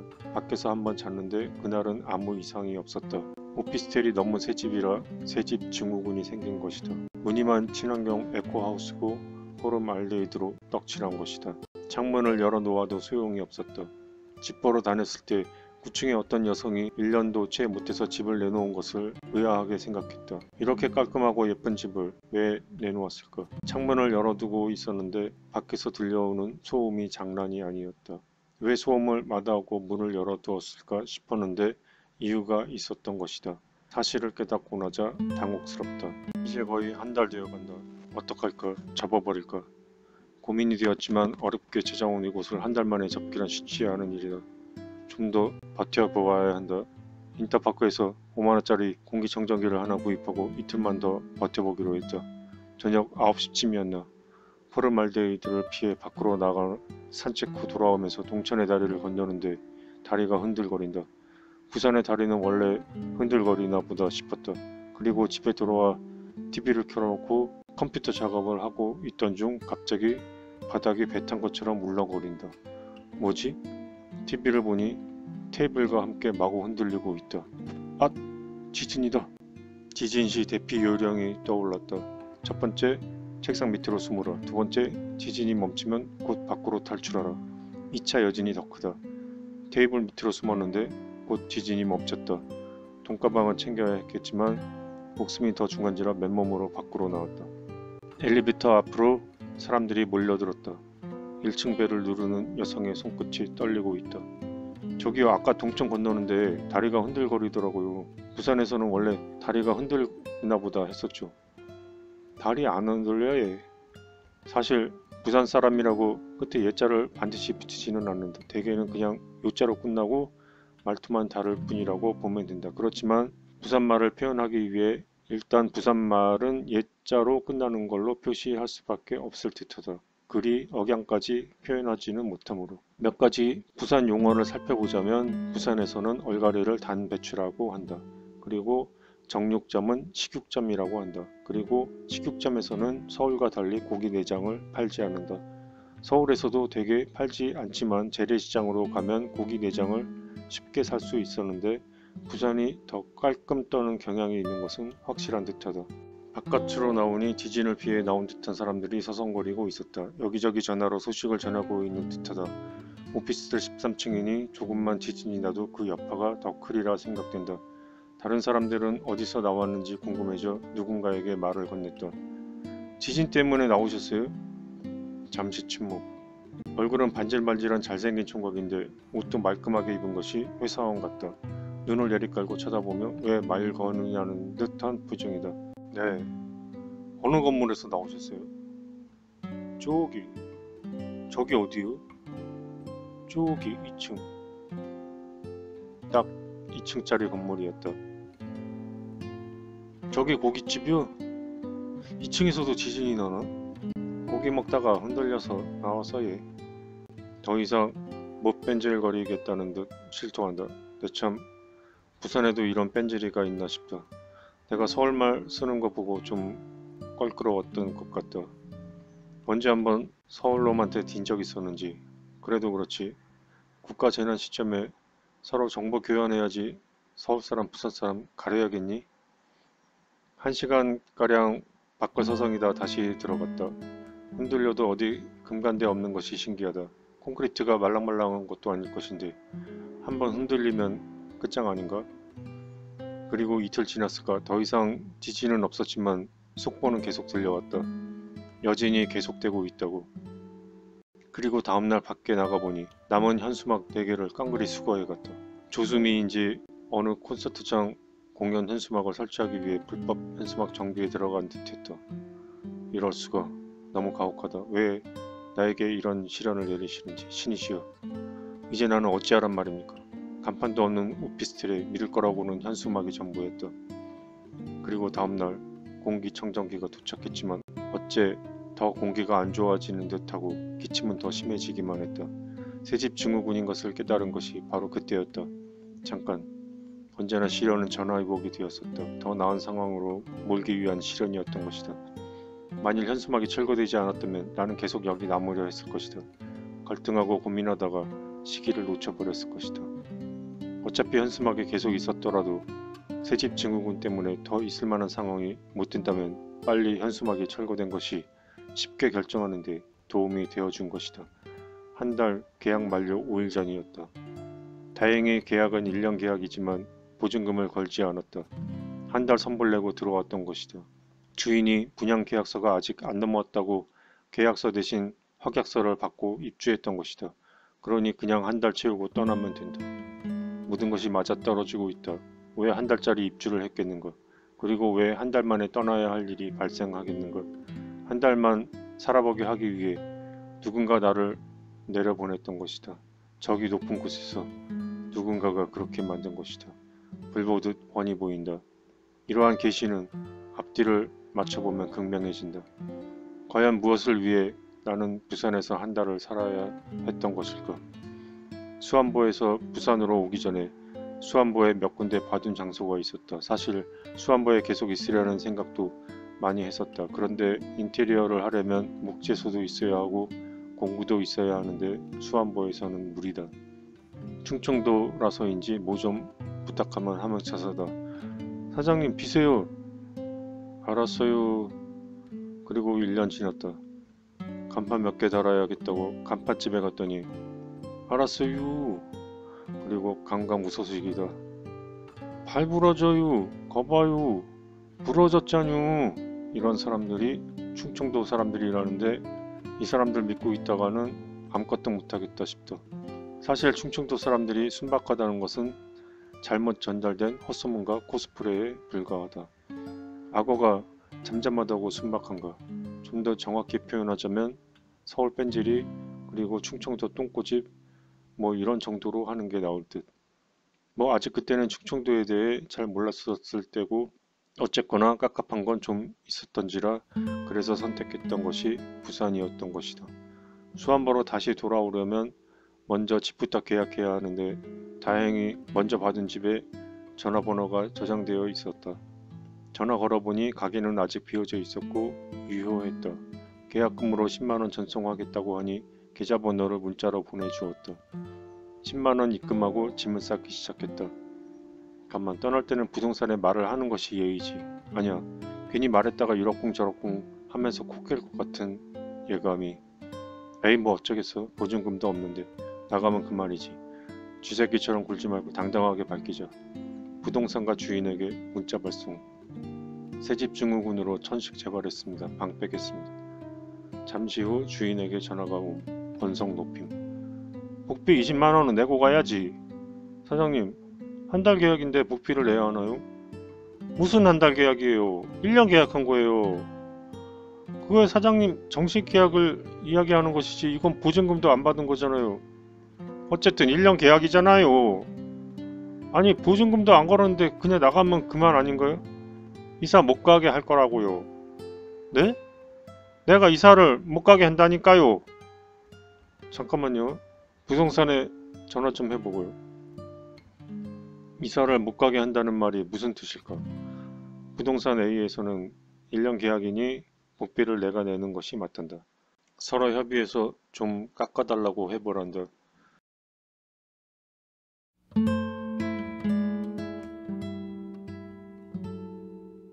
이사 못 가게 한다는 말이 무슨 말인지는 물어보지 않았다. 무슨 그런 게 있겠어. 주인에게 다시 전화했다. 좀 깎아주시면 안 되나요? 안 돼요. 알았어요. 낼게요. 그리고 전화를 끊었는데 이번에는 부동산 B에서 전화가 왔다. 부동산 A는 처음 찾아갔던 곳이고 부동산 B는 오피스텔 1층에 있는 곳으로 부동산 A가 나를 데리고 갔던 곳인데 서로 상부상조하는 사이인 듯 됐다. 부동산 B에서 하는 말이 복비는 물론이고 퇴거 후에 관리비와 월세를 사람 들어올 때까지 내가 부담해야 된단다. 예? 그럼 못 나가죠. 그냥 있을게요. 수한바 건물 주인한테 전화를 걸었다. 일이 꼬여서 나중에 다시 연락드리겠다. 10만원은 그냥 받아두시라. 사정 이야기를 듣더니 그건 말도 안 되는 사기꾼 계약이라며 날 꼬드긴다. 듣고 보니 이거 뭐 알고 하는 말씀인지는 모르지만 이쪽 부산 부동산도 뭐 딱히 맞는 것은 아닌데 싶다. 지들은 지들 편리한 대로 할 뿐이고 거기 휩쓸릴 필요는 없다. 문제는 내가 결정해야 한다. 나는 당장 나가야 할 상황이니 떠나고 보자. 강남 오피스텔 10년 전 강남 선릉역의 오피스텔을 계약하고 3개월 만에 방 뺀 적이 있었다. 그때의 악몽이 되살아난다. 이사를 마치고 새 집으로 입주를 완료했을 때였다. 포장 이삿짐 센터에 맡기고 나는 이사 장소에 없었다. 그런데 이사가 끝나고 선릉 오피스텔 부동산에서 전화가 왔다. 마침 선릉역 오피스텔 부동산엔 사장 대신 밥심부름이나 하는 듯한 사장 동생이 있었고 뭔가 상황 파악을 잘 못하는 친구였던 것 같다. 여기 좀 와보세요. 어떻게 해놓고 갔나? 엉망이에요. 지금 이사를 못 들어오고 있잖아요. 청소비 5만원 내놓으랍니다. 아니 그래요? 부장이사 맡겼는데 저는 현장에 없었거든요. 5만 원은 좀 뭐하고 3만 원만 드리면 안 될까요? 알았어요. 잠시 후 다시 전화를 걸었다. 그럴 리가 없다. 괜히 돈 뜯길 필요 있겠는가? 저기요, 제가 한번 가서 확인해 보고 드리겠습니다. 한 정거장 정도 걸어서 선릉역 부동산에 가보니 새로 입주할 미혼인 듯한 여성이 앉아 있었다. 계약할 때 한 번 본 여자였다. 한번 올라가 보세요.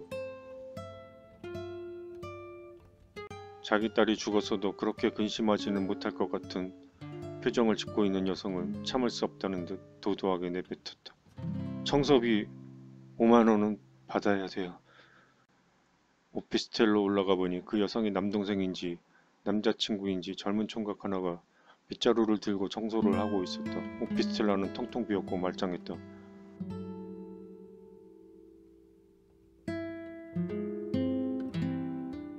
아니 뭐 어디가 어떻다는 거죠? 저거 보세요 저거 벽에 얼룩 찍어 별로 티도 안 나는 얼룩이 있기는 있었다 그리고 내가 이만큼 쓸어냈어요. 그리고 냉장고 좀 열어보세요. 아니 집만 빼줬으면 됐지. 청소까지 해줘야 되나? 나 원참 빗자루질 몇 번 했다고 냉장고를 열어보니 좀 심하기는 했다. 음식 자국이 잔뜩 끼어 있었다. 어쨌거나 청소는 들어온 사람이 할 일이니 내 알바 아니다. 그렇지만 음식 자국을 보니 나도 민망하기는 하고 좀 불평들을 하시니 온 김에 닦아주고 가야겠다 싶어 플라스틱 선반을 꺼냈다. 닦으면 될 거 아니에요. 빌트인 냉장고는 딱 보통 냉장고 반토막만 했다. 당시에 나는 몸이 안 좋아 꼼짝달싹 하지 못하고 하루 한 끼만 먹고 있었다. 걷는 것도 힘들어 간신히 버티고 있는 중이었다. 코딱지만한 냉장고 닦는 것도 힘에 부쳤다. 그 와중에 총각의 불평과 잔소리는 계속되었다. 여기가 어떻다느니 저기가 어떻다느니 나는 닦던 냉장고 선반을 내팽개치고 돈 5만 원을 꺼내 싱크대 위에 집어던졌다. 이까지가 닦는데 무슨 5만 원씩이나 달라 그래. 총각은 그래도 5만 원 받은 게 기뻤는지 얼굴에 희색이 돌았다.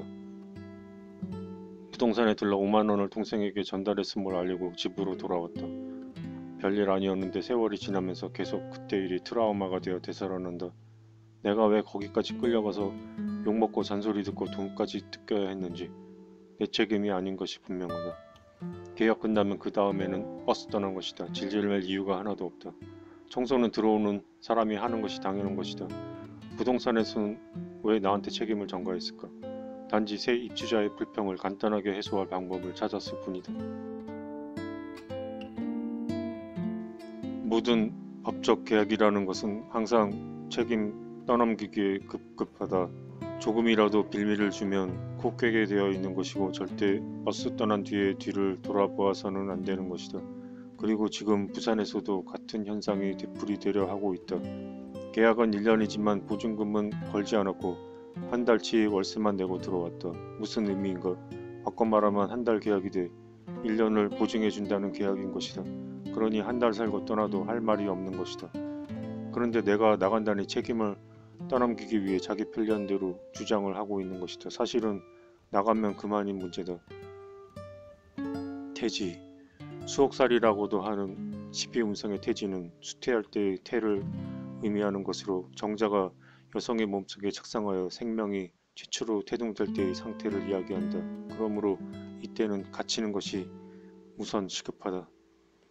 감옥이나 병원 또는 납치, 감금 등 꼼짝달싹 못하는 모든 상황을 지칭하게 되는데 의처증 남편을 만나 꼼짝달싹 못하고 집에 갇혀 슈퍼마켓 한번맘 편히 가지 못하는 여성의 경우도 이에 해당한다. 그 태지가 나에게 임한 지 벌써 10년째다. 병원만 두 번 실려갔었다. 직장을 구했는데 전화 통역 업무. 점심시간도 주지 않아 도시락을 싸고 다녔다. 화장실 갈 때도 전화를 휴대폰으로 작신시켜 놓고 귀에 이어폰을 끼고 가야 하는데 하루 8시간을 꼼짝달싹 하지 않고 앉아있으면 엉덩이가 군불 지진 듯 뜨끈뜨끈해진다. 화물 택배에 전화를 하니 추석 때까지 쉰단다. 이삿짐 센터도 마찬가지다. 추석 지나면 늦는다. 다행히 한 군데 추석날도 영업하는 곳을 찾았다. 새벽 5시에 오라고 했는데 더 일찍 오면 안 되년다. 4시까지 오라고 하고 차는 밖에 세워두시되 오피스텔 안으로 들어오지 말라고 전했다. 주인이 이사 못 가게 한다는 말이 자꾸 걸린다. 도대체 어떻게 이사를 못 가게 한다는 것일까? 이사 갈 때 나타나서 몸싸움이라도 하겠다는 것인가? 아니면 엘리베이터를 중지시킨다면 마치 감금 협박당하고 있는 기분에 사로잡힌다. 불안과 주저가 심하게 밀려온다. 나도 할 말은 있다. 새집 증후군이 휘새는 것처럼 법적으로 이사갈 권리로 작용해 줄지는 모르겠지만 어쨌든 집에 하자가 있는 것은 맞다. 새집 증후군 문제가 나온 지 언젠데 아직도 그 따위로 집을 짓는단 말인가. 만일의 경우를 대비해서 근처 내과를 찾아갔다. 이리저리 청진기를 대본다. 천식은 아닌 것 같고 예. 계속 기침 나고요. 하도 기침해서 기관지가 뜨거워요 지금. 만성 기관지염의 천식 의증 이렇게 써드릴게. 만성이라면 전부터 있었던 것으로 생각할 테니까 급성이라고 해주시고요. 천식 의증이라면 좀 그렇고 확실하게 천식이라고 써주면 안 되나요? 그게 예, 확실히 검사를 해봐야 할 텐데 예, 엑스레이를 찍어봐야 하는 거고 예. 엑스레이 찍으면 천식이 아니라고 나올 수도 있죠. 맞아 예. 그러면 이렇게 써드릴게 예. 만성인지 급성인지 의심되는 기관지염과 천식의증으로 고통을 호소함. 그래도 부산인지라 세심한데 신경 써주시는 센스에 놀랍다. 서울이라면 그렇게 했을까? 뭐 어쩌라고요? 아예 잘못했습니다. 이렇게 되었을 것이 뻔하다. 15일날 가려던 이사를 하루 일찍 당겨버렸다. 조바심에 더 지체할 수 없다. 그리고 내일은 북극 하와이나 갔다 올까 보다. 부산 온 김에 어떻게 생겼는지 가봐야지. 아침에 일어나니 비가 온다. 버스 1시간 거리라는데 원래 버스 타기도 싫어하고 비온 핑계로 북극 하와이는 포기하자. 대신 마사지나 받으러 가야겠다. 18년간 마사지를 하면서 한 번도 다른 사람한테 마사지를 받아본 적이 없다. 직원들 교육시킬 때 내가 가르친 직원들에게 받아본 적은 있고 태국하고 필리핀 여행 가서 몇 번 받아봤지 국내에서는 왠지 꺼려져 가지 않았다. 그렇지만 언젠가 TV에서 대박 식당 사장님의 장사 비법이 소개된 적이 있었는데 끊임없이 다른 식당을 방문하고 음식을 먹어보며 벤치마킹을 한다는 것이다. 부산 서면 쪽 말고 범일역 쪽을 지나가다 보니 유독 그곳에 마사지가 집중되어 있는 듯했다. 서면이나 범일이나 뭐 그 동네가 다 그 동네다. 그리 멀지 않다. 파리에 가면 좀 걷다 보면 지하철 나오듯이 딱 그 정도 걷다 보면 지하철이 눈에 띈다. 그런데 서면 쪽이 더 번화했지만 마사지는 이쪽이 더 많은 듯해 보인다. 무슨 황제 마사지, 타이 마사지, 천국 마사지, 중국 마사지 뭐 이런 것들이 우후죽순으로 서울에도 쏟아져 나오는데 퇴폐 사라진 지 오래라서 그건 아닐 것 같고 한번 가보기는 가봐야 할 텐데 하고 벼르고 있었다. 3만 원이라고 풍선 간판에 쓰여져 있는 것을 발견하고 제일 만만해 보여 들어가 보았다. 사람이 없다. 테이블에는 메뉴판과 전화번호가 적혀져 있다. 전화해보니 받지 않는다. 메뉴판 가격을 보니 3만원짜리는 30분이다. 뭐 그만하면 비싼 가격은 아니니 받아보기로 하고 누군가 오기를 기다렸지만 오지 않았다. 포기하고 밖으로 나와 다른 곳을 찾았다. 안내 데스크에 키가 난만큼 큰 늘씬한 미녀가 한 명 나를 반겼다. 한 30대 중반쯤 되어 보이고 산드라 블록을 연상시키는 얼굴. 연예인 해도 될 것 같다. 아로마는 얼마예요? 메뉴판을 보여주는데 기본이 5만원이고 아로마 마사지는 6만원서부터 있다. 6만원짜리는 상반신만 오일을 바른단다. 서울 마시를 쓰는 걸 보니 부산 여자는 아닌 듯 싶었다. 어쩌면 서울말 잘 쓰는 부산 여자일 수도 있다. 서울에는 저만한 미녀를 찾기 쉽지 않다. 딱 5만원 있는데 스포츠 마사지로 받아야겠네. 그냥 이걸로 해드릴게요. 5만원 받고 6만원짜리를 해주겠단다. 근데 옆에 3만원짜리는 뭐예요? 거기 들어갔다가 사람이 없어서 그냥 나왔는데? 아, 거기요? 주간에만 3만원이에요. 몇 시까지더라? 아, 나도 잔머리는 어느 정도 갖춘지라 다른 사람들의 잔머리가 훤히 보이는 편이다. 짐작 가는 바가 있다. 3만원 써놓고 사람 끌어들이고 낮에만 3만 원이라면서 비싼 거 하게 하는 것이다. 그러니 낮에는 도망가야지. 슬리퍼로 갈아 신은 후 마사지실로 들어갔더니 역시 키는 나랑 똑같이 큰 다른 여자가 입실했다. 생긴 건 뭐 아주 이쁜 건 아니지만 그냥 젊고 봐줄만 했다. 바지 하나를 주고 입으라고 한다. 이것이 말로만 듣던 일회용 팬티인가 보다. 일회용은 아닌 듯한데 부엌에 쓰는 물건이고 뭐 이럴 줄 알았는데 그냥 바지였다. 그것도 엄청 두꺼웠다. 엎어지라고 해서 무게를 구멍 속에 쳐박고 엎드렸고 마사지가 시작되었다. 아아 뭐 이리 아파 씨. 손가락은 가늘어서 푹푹 찌르니 아플 수밖에. 아파요?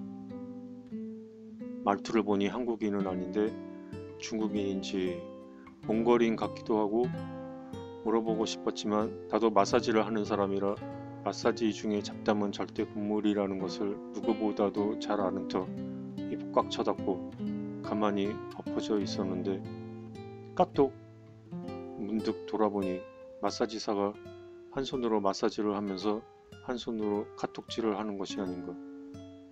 잠깐 확인만 한 것인지 카톡질을 한 것인지는 잘 모르겠지만 분명 그 중간쯤 되는 것 같았다. 눈치를 깐 것인지 휴대폰을 밀어놓고 마사지에 집중하기 시작했는데 뭐 그닥 솜씨가 형편없는 것은 아니었고 그냥 돈 받을 정도는 됐다. 그냥 하는 척 하는 거 아닌가 했는데 어디서 배우긴 배워온 모양이다. 이 모양 저 모양으로 나름 열심히 하기는 한다. 마사지가 끝나갈 무렵에 앞으로 누우라고 하더니 상반신에 오일을 쓱쓱 몇번 바르고 아로마 끝났단다. 뭐 이런? 야 나는 아로마 하면 스포츠 마사지 5분 하고 나머지는 아로마로 하거든? 어째 반대로 하니? 거기다 등은 놔두고 왜 앞에만? 끝났다길래 시간을 보니 딱 50분. 6만원짜리 5만원에 깎아준다더니 귀엽고 10분 잘라먹는구나. 제법 비싸 보이는 헛개수 음료 하나를 건넨다. 인스턴트하고 담선 내가 처먹을 리 없지. 사양하시고. 중국인이세요? 땡. 방끝. 그래도 진상 고객 안 만나서 마사지가 즐거웠는지 미소를 건넨다. 그냥 저냥 받을만 하긴 했던 것 같다. 벤치마킹 성공이다. 혹시나 나보다 더 잘하면 어떡하나 걱정했는데 그 정도 수준은 아닌 것 같으니 안심이다. 입구에서 나를 맞았던 산드라 블록은 나갈 데는 없었고 웬 인상 험악하게 생긴 남자 두 명이 앉아 있었다. 중국인 같다. 혹시나 내가 진상 부릴까봐 밖에서 실드 치고 있었나 보다. 산드라 블록은 서울말을 썼는데 말하자면 얼굴 마담인 셈이다. 마사지를 받고 나니 얼굴 마담이라는 말의 뜻을 알 것 같다. 안내해 주는 여자가 기가 막힌 미녀이니 마사지사도 그런 줄 알고 냉큼 받으라고 얼굴만 보고 뽑아놓은 것이다. 얼굴 마담 고용하랴, 보디가드 고용하랴, 돈 10만원 받아도 남는 게 없겠다 싶다. 진상 고객이 그만큼 많다는 뜻도 되니 씁쓸해진다. 그날 저녁하고 다음날 우려했던 일이 벌어졌다. 마사지사한테 내 몸의 기를 빨린 것이다. 등 쪽으로부터 담이 잔뜩 몰려오기 시작했다. 마사지를 잘못 받으면 피로가 풀리기는커녕 피로를 쌓고 온다. 혹 때려다 혹 붙이는 셈이다. 대개 마사지사들이 밤에 이런다. 밤에 마사지를 제대로 할 수 있겠는걸. 제대로 한다 쳐도 피로가 가중될 것은 분명하다. 그러니 피로가 잔뜩 쌓인 채로 마사지를 하게 되면 손님의 에너지가 마사지사에게로 빨려 들어간 그래서 내가 10시까지로 마사지를 제한하고 있는 이유이다. 손님은 청개구리다. 꼭 나쁜 것만 골라 찾는다. 마사지는 낮에 받아야 하며 힘센 남자가 하는 것이 여자보다 나을 것이며 여러 명 직원 쓰면 주인이 직접 하는 것에 비할 수 없을 것이다. 그런데 꼭 밤에 마사지 받고 꼭 여자 찾고 꼭 몰려다니면서 마사지사 몇 명이냐고 물어보고 혼자 한다면 죽어도 안 받으려고 한다. 나도 더 나이 먹으면 해주고 싶어도 못할 것이다. 해줄 때 받을 것이지. 주문 떡도 못 받아 먹는 것 보면 답답하다. 설득해도 소용없으니 말을 하지 않는다. 애들도 원래 몸에 좋은 건 안 하는 법이니 어른이 돼도 나쁜 것만 골라 하는 건 마찬가지인 것 같다. 뭐가 좋은지 나쁜지도 모르니 거미줄에 걸리는 파리 같다고나 할까. 그래야 거미도 먹고 살지. 뭐 어쩌겠어. 다음날은 부산에 사는 패친한 분을 만나게 되었다. 언제나 얼짱 각도로 비주얼 덩어리를 선보이시며 한번 셀까에 수백 명의 남성들이 좋아요와 답글 세례로 바쁘고 계신 분이시다. 오른쪽보다 왼쪽이 심하게 잘생긴 왼쪽 사진발에 속아 한 번 식사를 쏘겠다고 하셨다. 돼지국밥 쏘신다길래 진짜 돼지국밥 사시는 줄 알았더니 12,000원짜리 육회 비빔밥을 주문하신다. 아무거나 잘 안 드시잖아 얘. 이거 괜찮아 얘. 네. 옆에 횟집이 있어서 얘. 거기로 갈까 했었어 얘. 근데 요즘 콜레라가 좀 심하다 해갖고 얘. 아 네. 밥 나오는 동안 잠시 담소를 나눈 후 어제 마사지를 받으러 갔었는데요. 벤치마킹 하러요. 벤치마킹이라는 말에도 불구하고 그녀의 얼굴은 흑빛으로 변했다. 혹시 퇴폐 아닌가 했는데 그런 건 아닌 것 같던데요. 그럼에도 불구하고 그녀의 낯빛은 쉽게 변하지 않았다. 모닥불 꺼지듯이 서서히 얼굴빛을 회복할 때 책 한 권을 꺼냈다.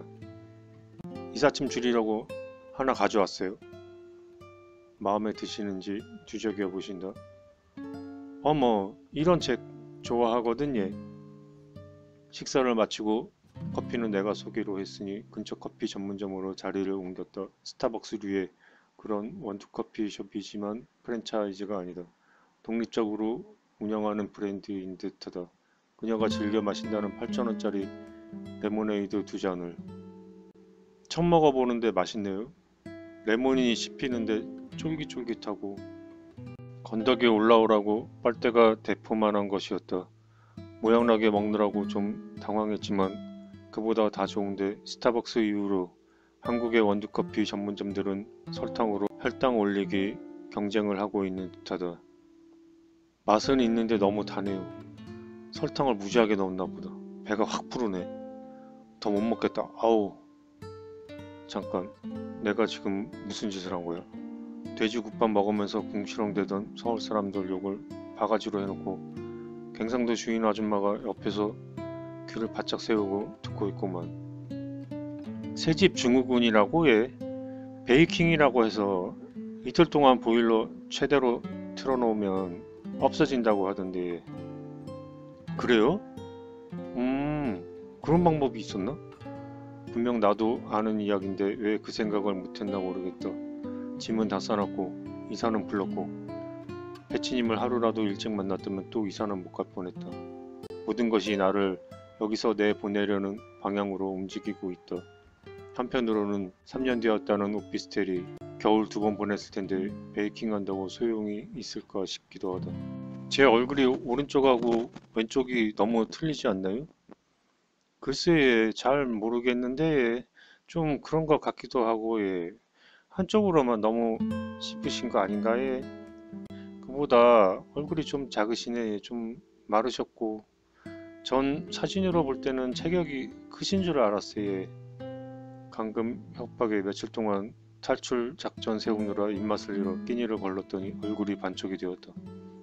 커피숍을 나와 그녀는 몰고 왔던 차를 타고 집으로 가셨고 나는 거리를 잠시 배회하다 마지막 행선지를 정했다. 그래 자갈치 시장을 한번 가보자. 어쩌다 알게 된 동생이 하나 있었다. 성질이 좀 더러워 연락 안 하려고 하는데 사주 몇 번 봐줘서 그런지 꾸준히 전화 온다. 부산에 있다고 하니 자갈치 시장을 추천했었다. 뭐 어떻다는 건지 여기도 시장이 있는데 자갈치 시장은 앞에 다른 이름의 재래시장이 마치 도롱뇽 몸통처럼 짤막하게 들어서 있고 그 뒤에 있는 6층짜리 긴 건물을 지칭한다. 노천 스타일이 아니라 건물 안에 있는 내부형 스타일의 시장이다. 답답한 데서 뭐 하라는 건지 영 구미가 당기지 않았다. 건물 6층인지 전망대라고 써있길래 올라갔더니 바다가 보인다. 역시 발이 닿는 곳은 아니고 만원경이 하나 설치되어 있다. 만원경 잠깐 보고 내려오니 자갈치 시장 구경 끝이다. 바다가 밟아야 바다지 멀리서 만원경 보는 게 무슨 소용이 있다는 것인지. 노츠 스타일의 식당을 찾아 밖으로 나와 보았는데 고래 고깃집이 늘어서 있고 비싸서 먹을 만한 형편이 못 되었다. 뭐 볼 게 있다는 거지. 홍콩 사람들이 쭉 깔렸다. 길을 건너보니 또 프랜차이즈 명동이 펼쳐진다. 지긋지긋한 쇼핑거리. 리어카 상점에서 떡볶이를 하나 먹었는데 서면 재래시장에서 먹었던 그 떡볶이 맛이 아니다. 서울에서 먹던 딱딱한 그 떡볶이 맛이다. 쫀득이를 먹는 거지 떡을 먹는 거지. 억지로 두 개 먹고 포장해 갔다. 양념도 진짜 고춧가루를 넣지 않고 캡사이신만 잔뜩 들어갔다. 포장한 음식은 얼마 지나서 쓰레기통에 쑤셔넣었다. 충무김밥 5천원짜리 하나 먹고 이리저리 둘러봐도 정말 명동과 하나도 다를 것이 없다. 이놈의 명동은 여기저기 안 가는 곳이 없네 그래. 나는 부산에 오기 전까지 명동이 뭔가 서울만의 독특한 문화와 지역적 특성이 결합되어 형성된 도심 속의 노른자 뭐 그런 곳인 줄 알았다. 그런데 명동은 아무것도 아니었다. 그냥 다 비싼 동네는 그렇게 형성되는 법칙이 존재한다. 일단 사람 몰리는 땅이다 싶으면 높은 건물 들어서고 백화점 들어서고 쇼핑타운 들어서고 이것저것 프랜차이즈 입점하고 골목골목 리어카 들어서고 그러다 보면 다 명동하고 똑같이 된다. 대기업의 자리다툼으로 형성된 그들만의 축제인 것이다. 사람들은 그냥 거기서 다람쥐 쳇바퀴 돌듯이 놀아주면서 대기업의 밥이 되는 것이다. 즉 그냥 젠트리피케이션의 모습이었던 것이다. 대기업이 건물을 지을 때는 딱히 개성이나 환경적인 특성을 고려하지 않는다. 그냥 적당히 모양이나 내고 수익성만 철저히 고려해서 지을 뿐이다. 위키백과 젠트리피케이션 젠트리피케이션은 도시에서 비교적 빈곤 계층이 많이 사는 정체 지역, 도심 부근의 주거 지역에 저렴한 임대료를 찾는 예술가들이 몰리게 되고 그에 따라 이 지역에 문화적 예술적 분위기가 생기게 되자 도심의 중산층 상류층들이 유입되는 인구 이동 현상이다. 따라서 빈곤 지역의 임대료 시세가 올라 지금까지 살고 있던 사람들, 특히 예술가들이 살 수 없게 되거나 지금까지의 지역 손실되는 경우가 있다. 자갈치 시장이라니 뭔가 자갈치가 펄떡펄떡 뛰면서 쏴라 있네 이럴 줄 알았더니 자갈치는 없고 자갈만 잔뜩 깔린 셈이다. 푸켓이나 보라카이를 비교해보면 될 것 같다. 일전에 캐나다인 외 미국인 마사지사를 한 명 고용한 적이 있었다. 영어 교사이기도 했던 제임스는 태국을 너무 좋아해서 1년에 서너 번은 휴가를 내 태국에 가서 마사지를 받고 온다는 것이다. 그런데 얼마 전에 베이징인가 상하이인가를 갔다 왔다고 하는데 너무 싫었다는 것이다. 왜 그러냐니까 전부 건물 안에 갇힌 indoor 스타일이고 답답하다는 것이다. 아직 중국은 가보지 않아서 모르겠지만 지금 와서 생각하니 제임스가 무슨 말을 하는지 알 것도 같다. 서울 뺨치겠지. 그렇지만 태국이 더 나은 이유가 있다는 것이다. 집에 가기는 아직 이르다. 뭘 할까? 서성이다 종이박스 하나를 엎어놓고 사주 보고 있는 아줌마를 발견했다. 사주 관상 손금 궁합 태길 이사 어쩌고 저쩌고 몽땅 3천원 경력 28년 잘 봐줄게요. 이렇게 쓰여 있다. 우와 저 많은 걸 몽땅 3천원에 희생정신이 투철하신 분이신가 보다. 사실 남한테서 사주를 본 적은 거의 없다. 몇 번 본 적이 있기는 하지만 그냥 발 신통한 것도 없고 사주는 내가 공부해서 내가 봐야 한다고 믿고 있다. 그래도 남들이 봐주는 사주가 가끔 필요한 것도 사실이고 심심하던 차에 시간도 때우고 잘 됐다 싶었다. 30분을 기다린 끝에 내 차례가 왔다. 사주 관상 손금 3개만 봐주세요. 골판지에 쓴 메뉴판을 꺼내든다. 엎어놓은 박스에 있는 것과는 다른 가격으로 5천원이라고 써있다. 아니 그럼 박스에 5천원이라고 써놓을 것이지. 대놓고 사기를 치나? 몽땅 봐준다는데 5천원이라도 보려고 했구만. 돈 5천원 정도는 비싼 것이 아니지만 싸고 비싸고를 떠나서 사기를 치면 안 되지. 말투를 보니 부산 사람은 아니었다. 서울이나 경기 사람 같았다. 기분 잡잡지만 어쨌거나 돈 2천원 더 받는다고 일어설 수도 없고 그냥 고개를 끄덕이자 감정에 들어간다. 생년월일을 묻더니 종이에 적는다. 잘 못 들었는지 시는 적지도 않았다. 아침 8시요. 사주에서 시가 빠지면 인고 없는 찐빵이나 마찬가지다. 제차 불러주자. 그제서야 적는데 관심 바뀐 듯하다. 만세력을 뒤져보는 어째 뒤져보는 폼이 너무 익었다. 그러더니 손가락으로 무슨 달수 계산하듯이 마구 짚어본다. 아무리 28년 경력이 아니라 60년 경력이라고 해도 그렇게 쉽게 만세력을 뒤집거나 손가락을 휘가닥 짚어내지는 못한다. 모르는 사람은 진짜인 줄 알겠지. 근데 내가 누구인가? 할 만큼 아는 사람이니 훤히 보이는 것이다. 볼 줄도 모르면서 있어 보이려고 만세력 뒤지고 손가락 캐집고 하는 것이다. 크게 벌지는 못했어도 돈은 꾸준히 벌어. 그런데 요즘은 좀 안 좋아. 뭐 크게 벌지 못해도 꾸준히 벌지 않는 사람 있으면 나와보라 그래. 그리고 요즘 좀 안 좋으니 사주 보러 다니지. 팔자 좋아봐 누가 종이 박스 앞에 앉겠나. 네, 일단 맞다고 해주었다. 책임자지? 사장이거나 책임자야. 어떤 일 하셨어? 마사지요. 그러니까 직접 하는 거야? 사장인 거지? 네, 뭐 그런 셈이죠. 생긴 거 보면 손에 물 한 방울 안 묻히게 생겼으니 책임자라고 하지. 노가다하게 생겼어 봐. 그런 말 하겠나. 몸에 상처 있지? 네. 몸에 상처 하나 없는 사람도 있나? 뒤통수에 하나 있는데 이것도 몸이라고 해야 하나 말아야 하나. 돈을 벌어도 새는 구멍이 많아. 부동산에 투자해야 돼. 돈 벌어도 새는 구멍 없는 사람도 있니? 역마살이 있어서 많이 돌아다녀. 서울만 쓰는데 부산에 있으니 역마살 있다고 하겠지. 근데 내 사주에 역마살이 없어요. 그렇게 3분 만에 사주 관상 손금 3개가 한 번에 모두 끝이 났다. 사입인 걸 눈치채고 이것저것 묻지 않아서인지 다른 사람은 좀 오래 하는 듯 했는데 나는 후딱 끝났다. 되게 그렇듯이 내가 사주 보는 방법하고는 다르다. 나는 다른 사람들의 사주를 볼 때 일단 만세력을 보여준다. 그리고 당신의 사주가 이렇게 생겨 먹었으니 이런 이런 일이 있었으며 앞으로 이렇게 된다고 설명해준다. 손금을 볼 때도 당신은 감정선이 이렇게 되어 있으니 성격이 어떻고 운명선이 이렇게 되어 있으니 어떻다는 등으로 원인과 결과를 설명한다. 그런데 이 아줌마는 아무런 원인 설명도 없이 그냥 그렇다고 하니 이게 사기를 치는 건지 진짠지 알 수가 없다. 그렇게 3분 하고 몽땅 다 했다며 5천원을 받아먹으니 싼 게 아니라 딱 5천원짜리 사주였다. 딱히 틀린 말 한 건 아니지만 그냥 통밥 사주고 오랜 세월 사기쳐 먹으면서 쌓아 올린 노하우에 불과한 것이었다. 그리고 당신이 사주 보고 왔다는 것의 대부분이 이러한 사주인 것이다.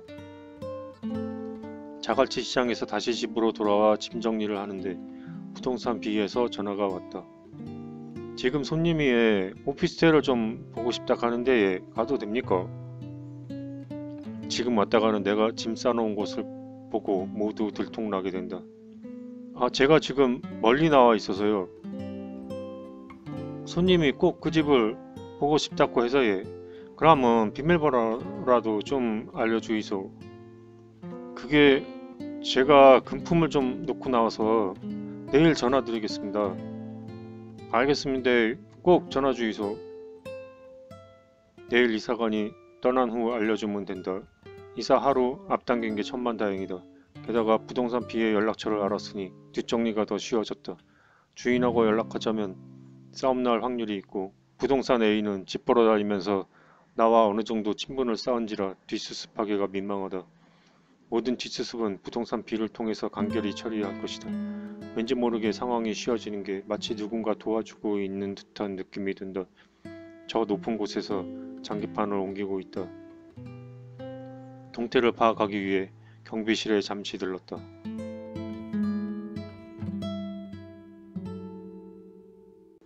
저 소장님, 추석 때 소장님들 근무하시나요? 소장은 한 명뿐이겠지만 딱히 뭐라 호칭할 수 없어 아무나 소장님이라 불렀다. 아니요, 다 쉬어해. 몰래 이사 가려고 물어보는 것이 아니라는 듯 둘러대본다. 그럼 택배 오면 받아줄 사람이 없겠네요. 택배는 택배 산물함 속에 넣지 예. 그리고 택배는 안 와 예. 아 맞다. 추석 때는 택배가 안 오지. 모르는 척 능청을 떨어본다.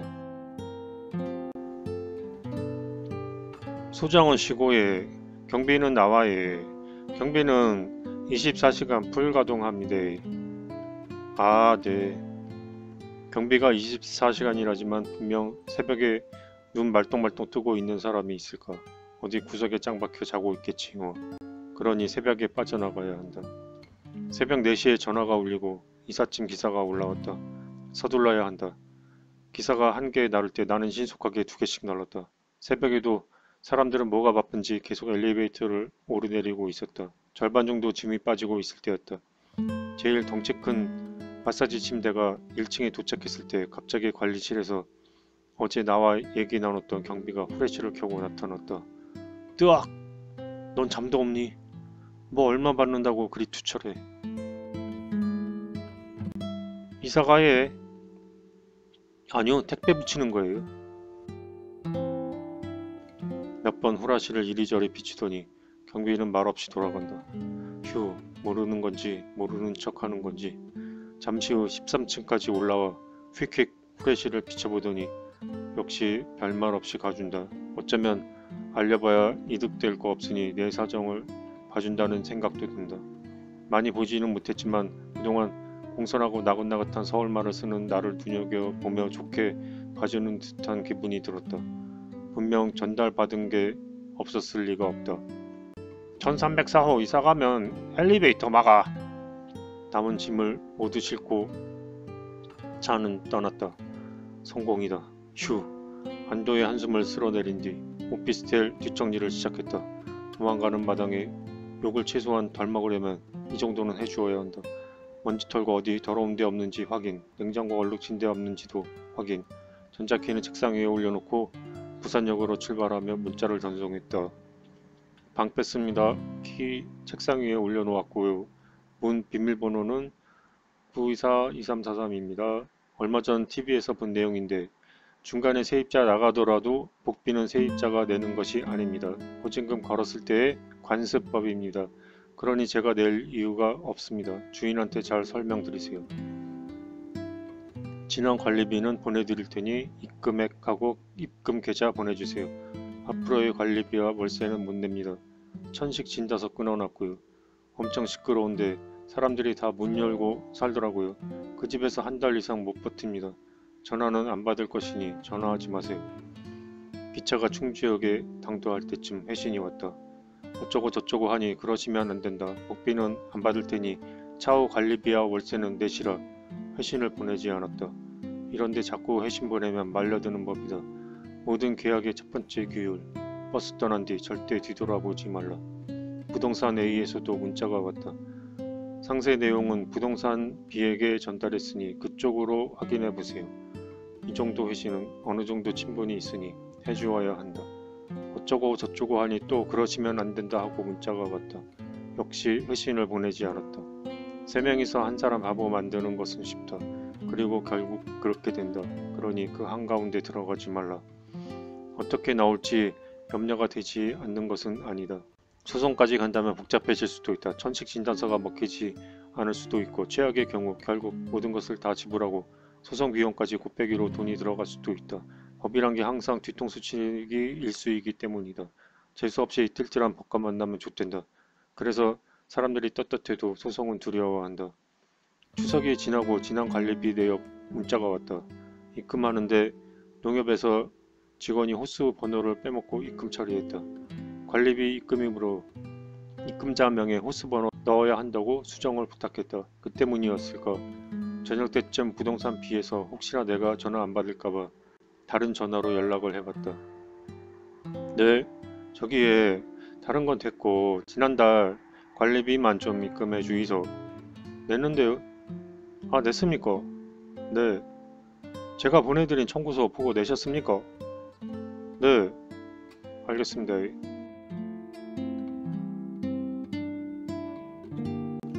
이로써 모든 것이 끝났다. 다른 건 됐다니 확인 사살까지 시켜준 셈이다. 발 뻗고 잘 수 있게 됐다. 농협 직원의 실수로 확인이 안 되었던 것이라면 그것이 전화위복이 된 셈이다. 사실 부동산에서는 내가 나가면 새로운 복비를 받게 되므로 손해보는 것도 없다. 주인적 복비는 부동산에서 해결할 모양이니 주인이 손해보는 것도 없다. 계약서를 왜 그렇게 썼는지 모르지만 부동산 책임이니 그 부동산이 해결해야 할 것이다. 그러니 사실 아무도 피보는 일 없이 일이 해결된 것이다.